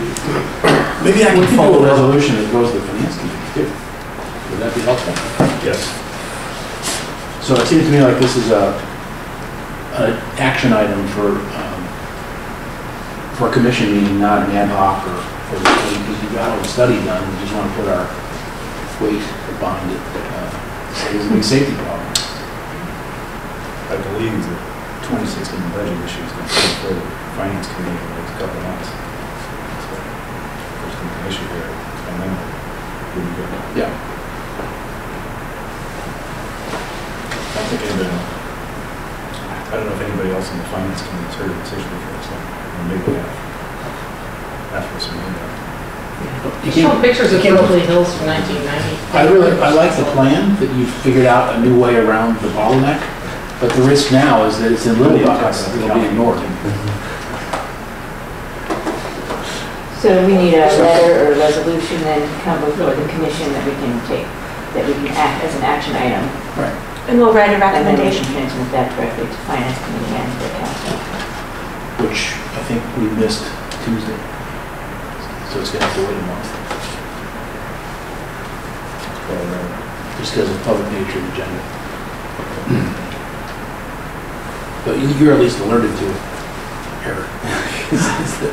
If it comes up sooner than that, raise your hand. I'll look for it in my inbox. Yeah.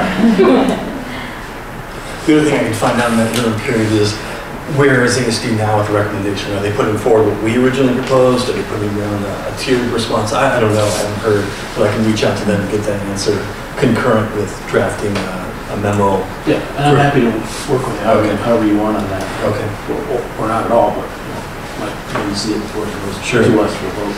Okay. It, it seems really good that it's moving into the operating budget ultimately though, because it, that's just a, it- that's a no It is. frills kind of, uh, It is, as long as we, Requirement. as long as it's- they don't start trimming here and there, and those are the trims that get trimmed. The pieces get trimmed. Yeah, the easiest way to cut something is breaking it into three pieces and cut the three pieces individually. Right. Okay, so we will put that, let's, so that would be for April. Let's try that on the, What's the estimation, how much is this going to cost? Say again? How much is, how much was the ballpark of this going to cost? The total request for our annual budget is uh, right around like 150, 160,000 a year. For years? Yeah. No, this is the entire thing. So CSD is 74, something like that. So instead of putting it into a multi-year CIP, it's now a smaller piece. Ongoing in budget. Ongoing, in ongoing budget, so. Same number ends up the same after four years or five years, but. Right, yeah. The, the difference is we had um, this would have been a new CIP, right? The old one had been funded for 250 and covered a certain number of years. This would be.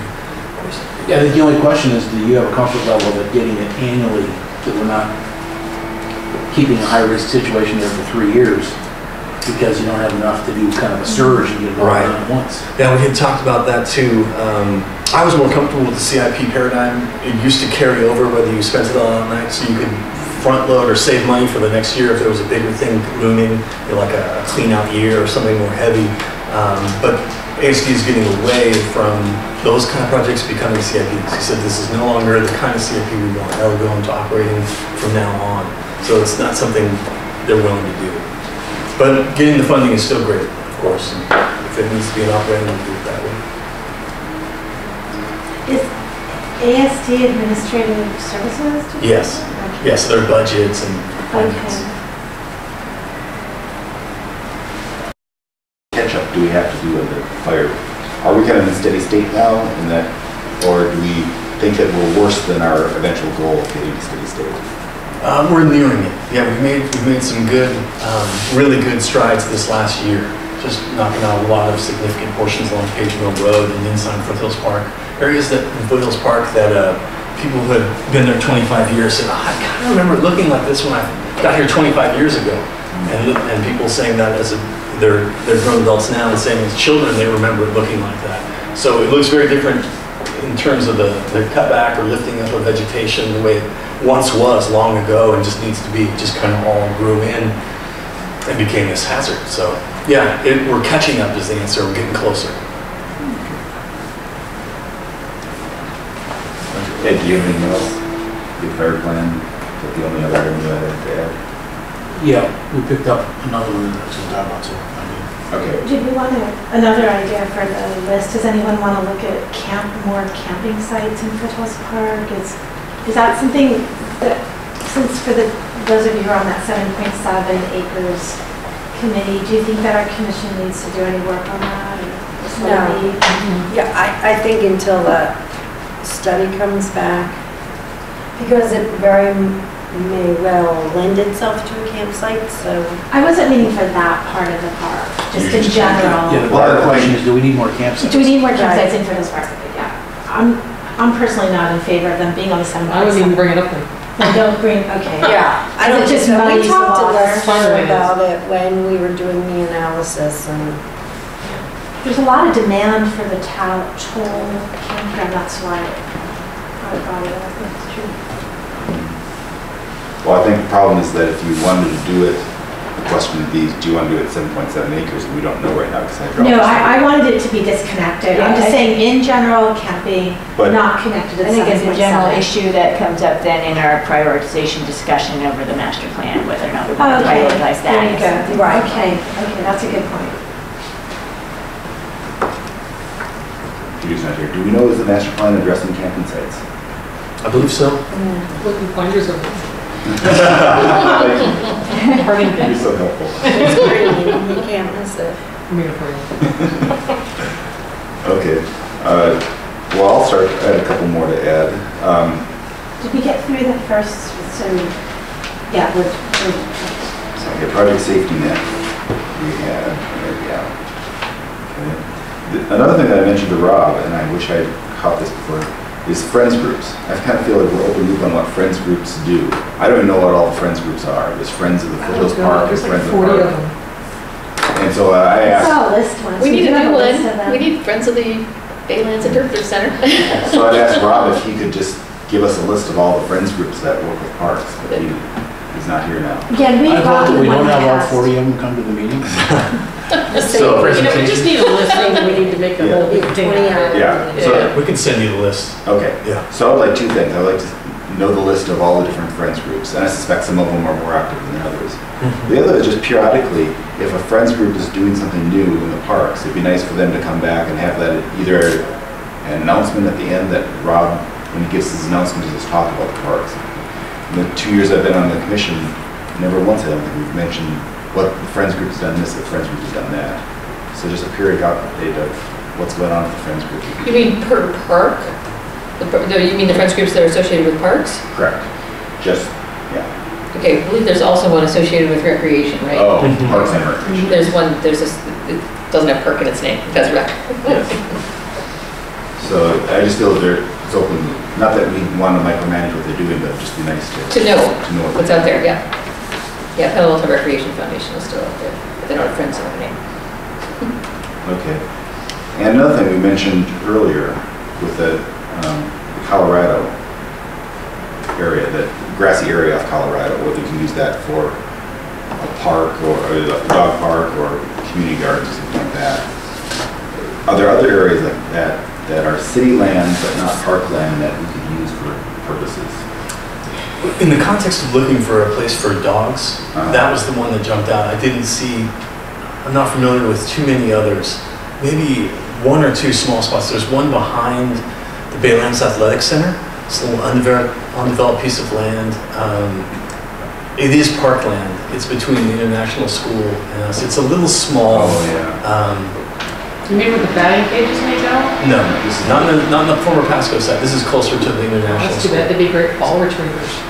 Yeah, yeah. So it's, uh, Where is it relative to the softball field? Just on the other side of the fence towards the school? The right Oh. field fence of the Right field skin fence. field. There's an area back there that's just dead.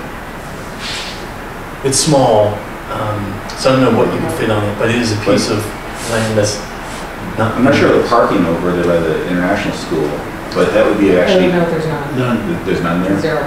So, okay.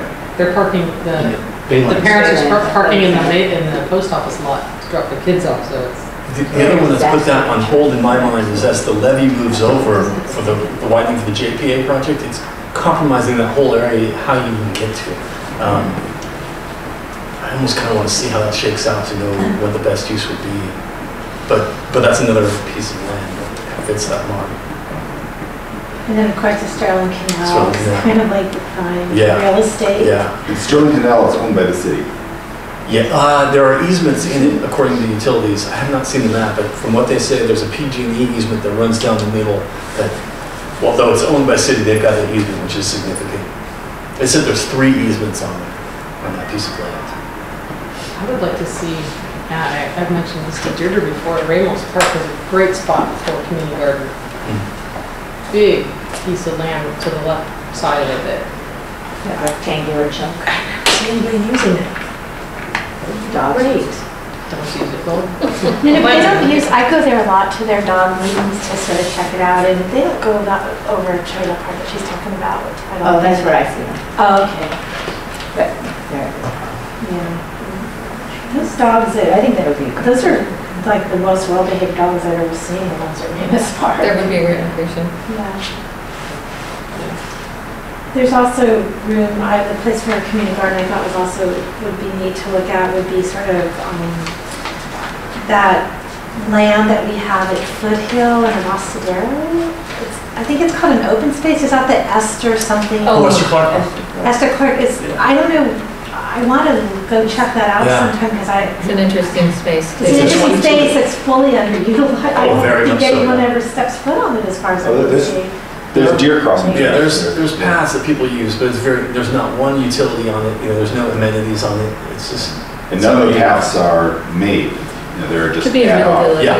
Yeah, so that I wanted, I was always interested in that Yeah. for community gardens. I'm really hoping that the master plan will help with that. We, I just Yeah. wrote in the notes on the, the maps that come out for the master plan, just saying, opportunities, well, you've got 22 acres with not a single amenity on it. That's certainly an opportunity for a friends group, for habitat restoration, for trail systems, for, you name it, there's lots of. For Esther Clark, are we constrained at all?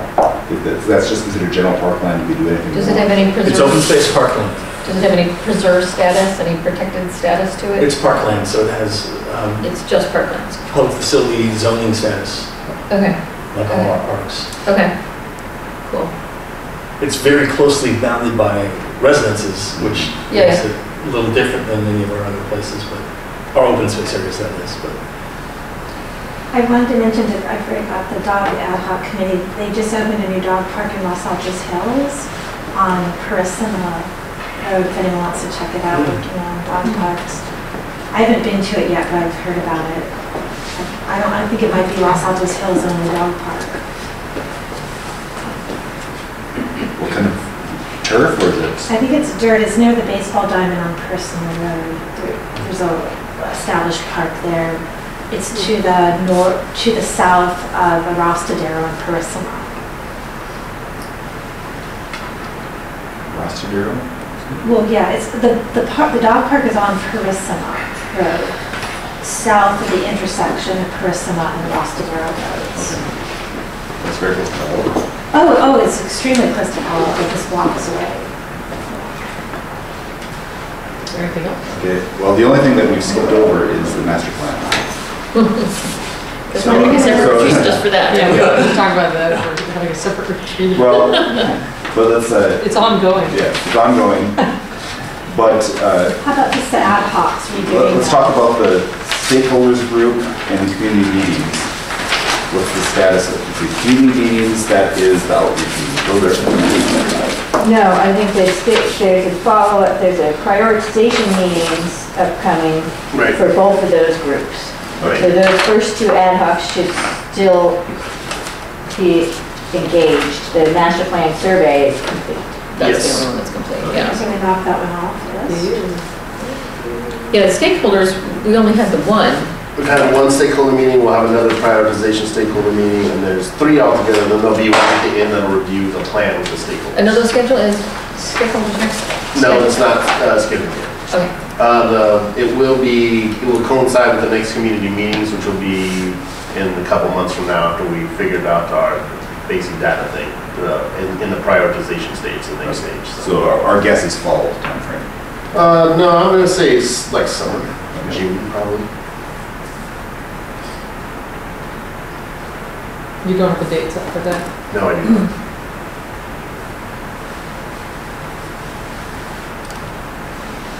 and we don't have a date set for the master plan retreat yet, do We We do. we? We do? No, don't we? We Well, gotta we- Google. Oh, you're right. Doodle No, poll. we gotta Yeah. doodle poll. Okay. So that was a, something that Rob and I were talking about. Um, Instead of having a separate retreat meeting like this one, would be basically to use the majority of our next April meeting to do the master plan and basically do it at our scheduled meeting. Uh, Currently, right now, the itinerary or the agenda has a Byxbee Park Trails item on it, and then that's not gonna be. open. Oh, for April? For April. I'm sorry. Yes. And then the Parks Master Plan, so it's got two items, basically. So if we want to have it and segment out a two and a half hour segment or a two hour segment, where we just do the, basically the master plan stuff, like what we do as a retreat. Daren can do his thing at the beginning, and we'll move to the master plan thing, and we'll just do it on the meeting night instead of having a totally separate meeting, that's a possibility. That's for you guys to discuss though, what you'd like to do. As long as we don't, as long as we don't have a backlog of any other important stuff through, coming through the pipeline, is there anything that? No, the only thing is the Byxbee Park, the trail thing. And, and this fire memo. So, I like that idea. So, Well, let's talk after the meeting on Tuesday. Once we've looked at our binders, right. we've taken one today, right? Yes, you can. Which we can pass out right now, a, uh, and we can start practicing how to put stuff inside of it. It's a training You're serious, you're serious. I'm serious. So full, you need Because to. now we know we want to Okay, school oh, with one, one more this. topic. Uh, Rob talked to me about this. Uh, We had the junior museum uh, discussion last week, and we stepped on some toes, or some people were a little irritated that we pushed back uh, about the, the use of encroaching into the park. uh, encroaching so- Yeah, That's our job, to Yes. protect the park. we, I wouldn't agree. And so the the thought was that this is parkland and it is an appropriate use of parkland. That was their thinking. And that just because this is a run by a separate group doesn't preclude them using parkland. It's not like it's, we're losing parkland, we're just using parkland for something else. And- The argument makes any sense Well, and so my, my response is, I think, we want to have our cake and eat it too. We love the Junior Museum, we think what they're doing is great. We just want to see them do everything we can to stay within the footprint. Then at that point, if we're convinced that they can't fit into the footprint, then we would consider going into the park. Does that correspond with other people's views, or that we wanted to, because one of the questions was, is would it be useful for us to have a tour of the Junior Museum and talk to them, and see what they need and what, Well, what I would suggest for that is if you want to have a, it doesn't have to be like a, um, I guess a tour where you can show up. I mean, that could definitely be something like a meeting.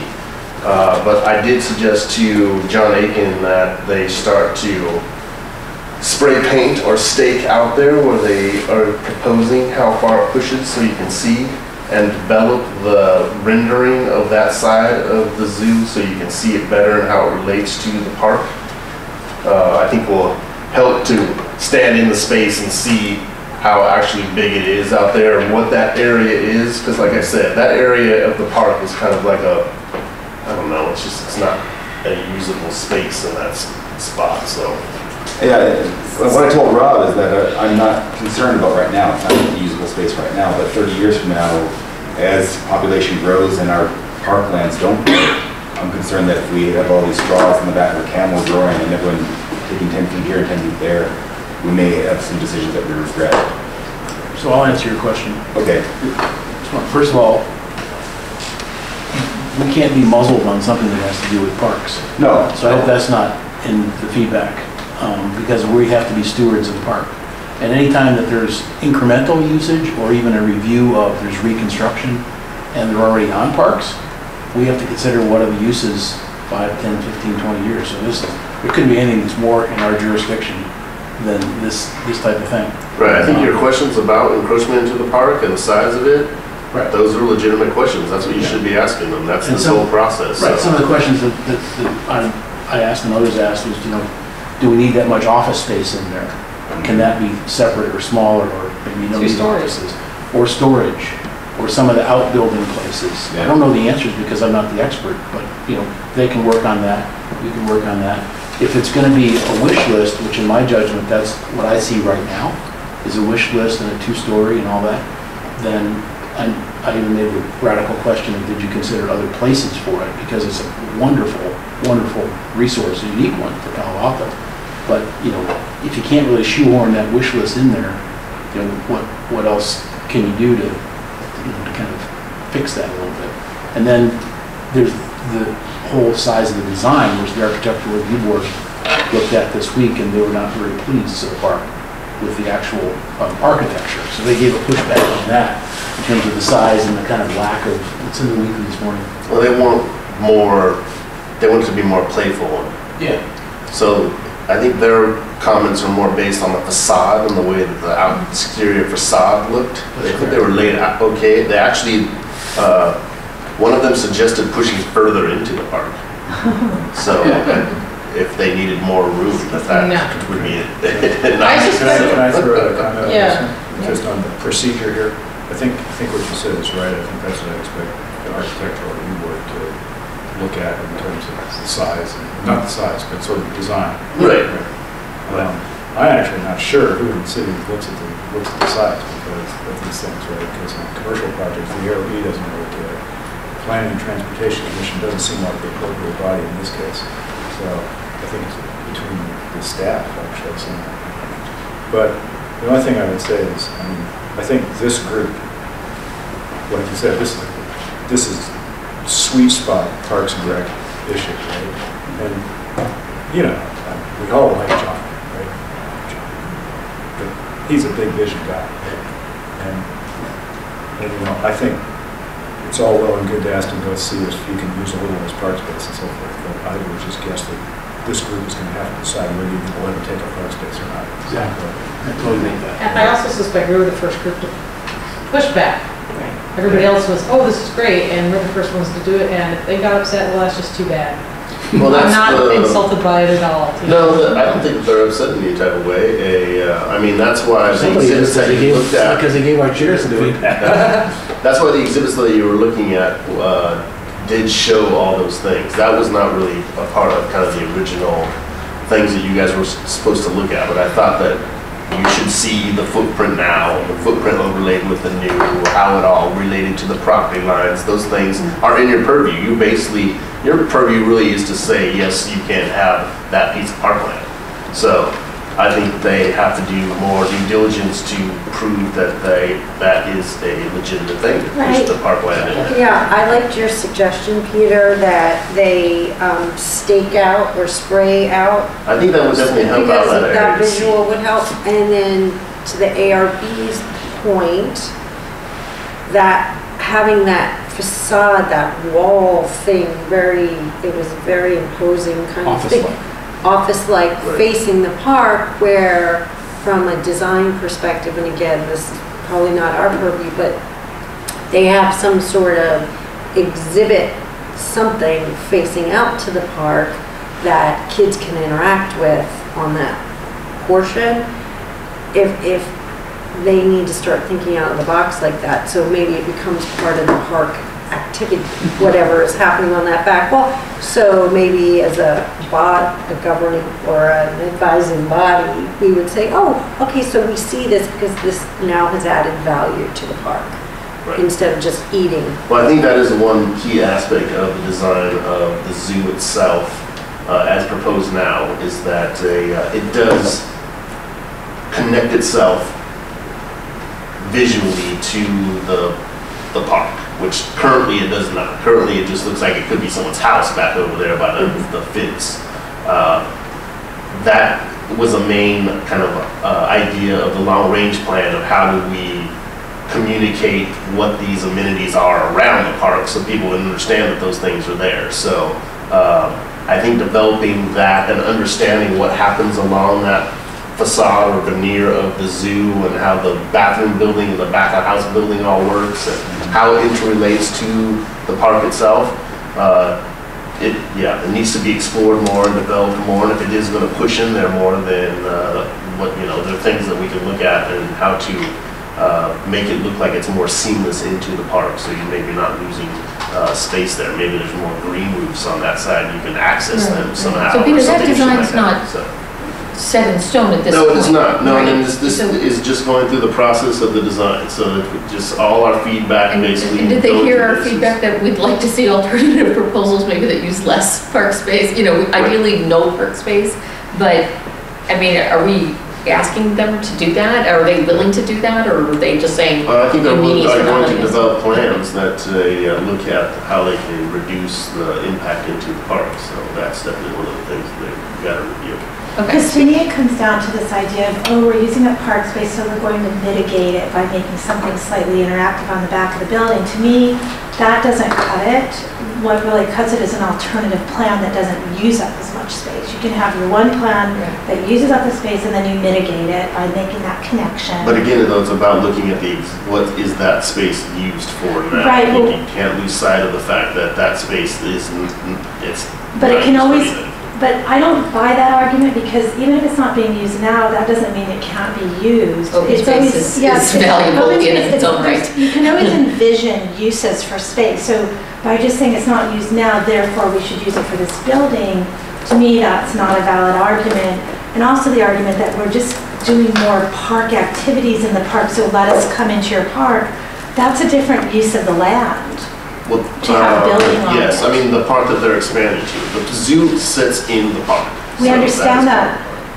We under, I understand that it sits in the park, but it doesn't mean that it just has carte blanche opportunity to go further into the park just because it already sits there. Right. This is the right volume to be talking. So we have eight minutes Yeah. left. Are we done with the agenda? I think we're done with everything except this. So yes, they- they are going to develop more plans and be responding to your comments about the the expansion into the park, so. Since we're talking about Rinconada Park, I was walking by there the other day. So there was a temporary structure built. It was like a, Greenhouse, or right, sustainable house. right. Oh, yeah. And the sign says, oh, you know, April 2012 or whatever, whenever it was supposed to be. Why is it just sitting there empty now? I think they were just looking for a place to use it. I had heard a bunch of different ideas thrown about. Oh, this about that. Yeah, I, I don't know the current status on it. We can follow up and get back. Yeah, it just kind of looks dumpy and unloved. No, you know, it's just there, right? We just gotta show how to things in the binder. Yes. These are your binders. Uh, They're tabbed into the different sections that that correlate to that matrix that uh, we were talking about. Um, Some of the sections aren't, or don't have anything in it yet, like prioritization workshops don't have anything into their tab. Um, I'm going to give you the, which I think you've received already as far as the packet goes, the survey summary information. So I've uh, got that printed out here. I don't know what section that is, section 10. If you look at the, the sheets in the front, basically, and the numbers that they are, tell you which each section of it is, so, um, Survey results, we'll see. yes, so s- 14 is basically what we're going to be. These were, took some time to put together. I bet they did. All day yesterday, I had two people in my office building them. he's giving us 14 again? 14. So I'm just gonna, let's just pass it around and you guys can add it in there. I would say that the green binders are easier to use than the white binders because of the mechanism of the clip. So your hand is completely. I have no problem, see, I don't like that color oh, You green. told me that happy. after, oh, we can choose any color. And then you mentioned, uh, oh, by the way. I'm just saying, the biggest loudmouth on the thing. Keep passing through, okay, this is Abbie's copy. Oh, you're passing one at a time? Yeah, I know. Okay. Passing Kind of them out. Yes, you're supposed to be putting this in sec, uh, tab 14. So you don't want mechanism for opening it, Uh, I did not do that. You were actually, I do have one for you. Okay. Now, so you already own some of these things from previous handouts. Um, Just recycle those and just So while we're doing this, if we're done with the regular agenda, are we done with the regular? Yeah, we are done with the agenda unless I- Final thing I'd like to talk about. Okay. Okay, go ahead. Go ahead. Um, I just wanted to raise the Brown Act and remind everyone, I don't know how recently you've had Brown Act training, but a very tricky area of the Brown Act is the serial meeting issue. And I think there's been a lot of confusion among commissioners about how that works. So I just want to remind everybody to go to your training. Also, serial meeting, where you run into trouble is if you talk, you can't talk to more than two other commissioners about any You get one more. particular topic that's in our jurisdiction. Everyone's got one 14? Yes, I do. Abbie, are you listening? I'm trying to. So the tape is almost over, so are we kind of basically done? We're done we're done with the, yeah. Okay, sure. Okay. So I just want to remind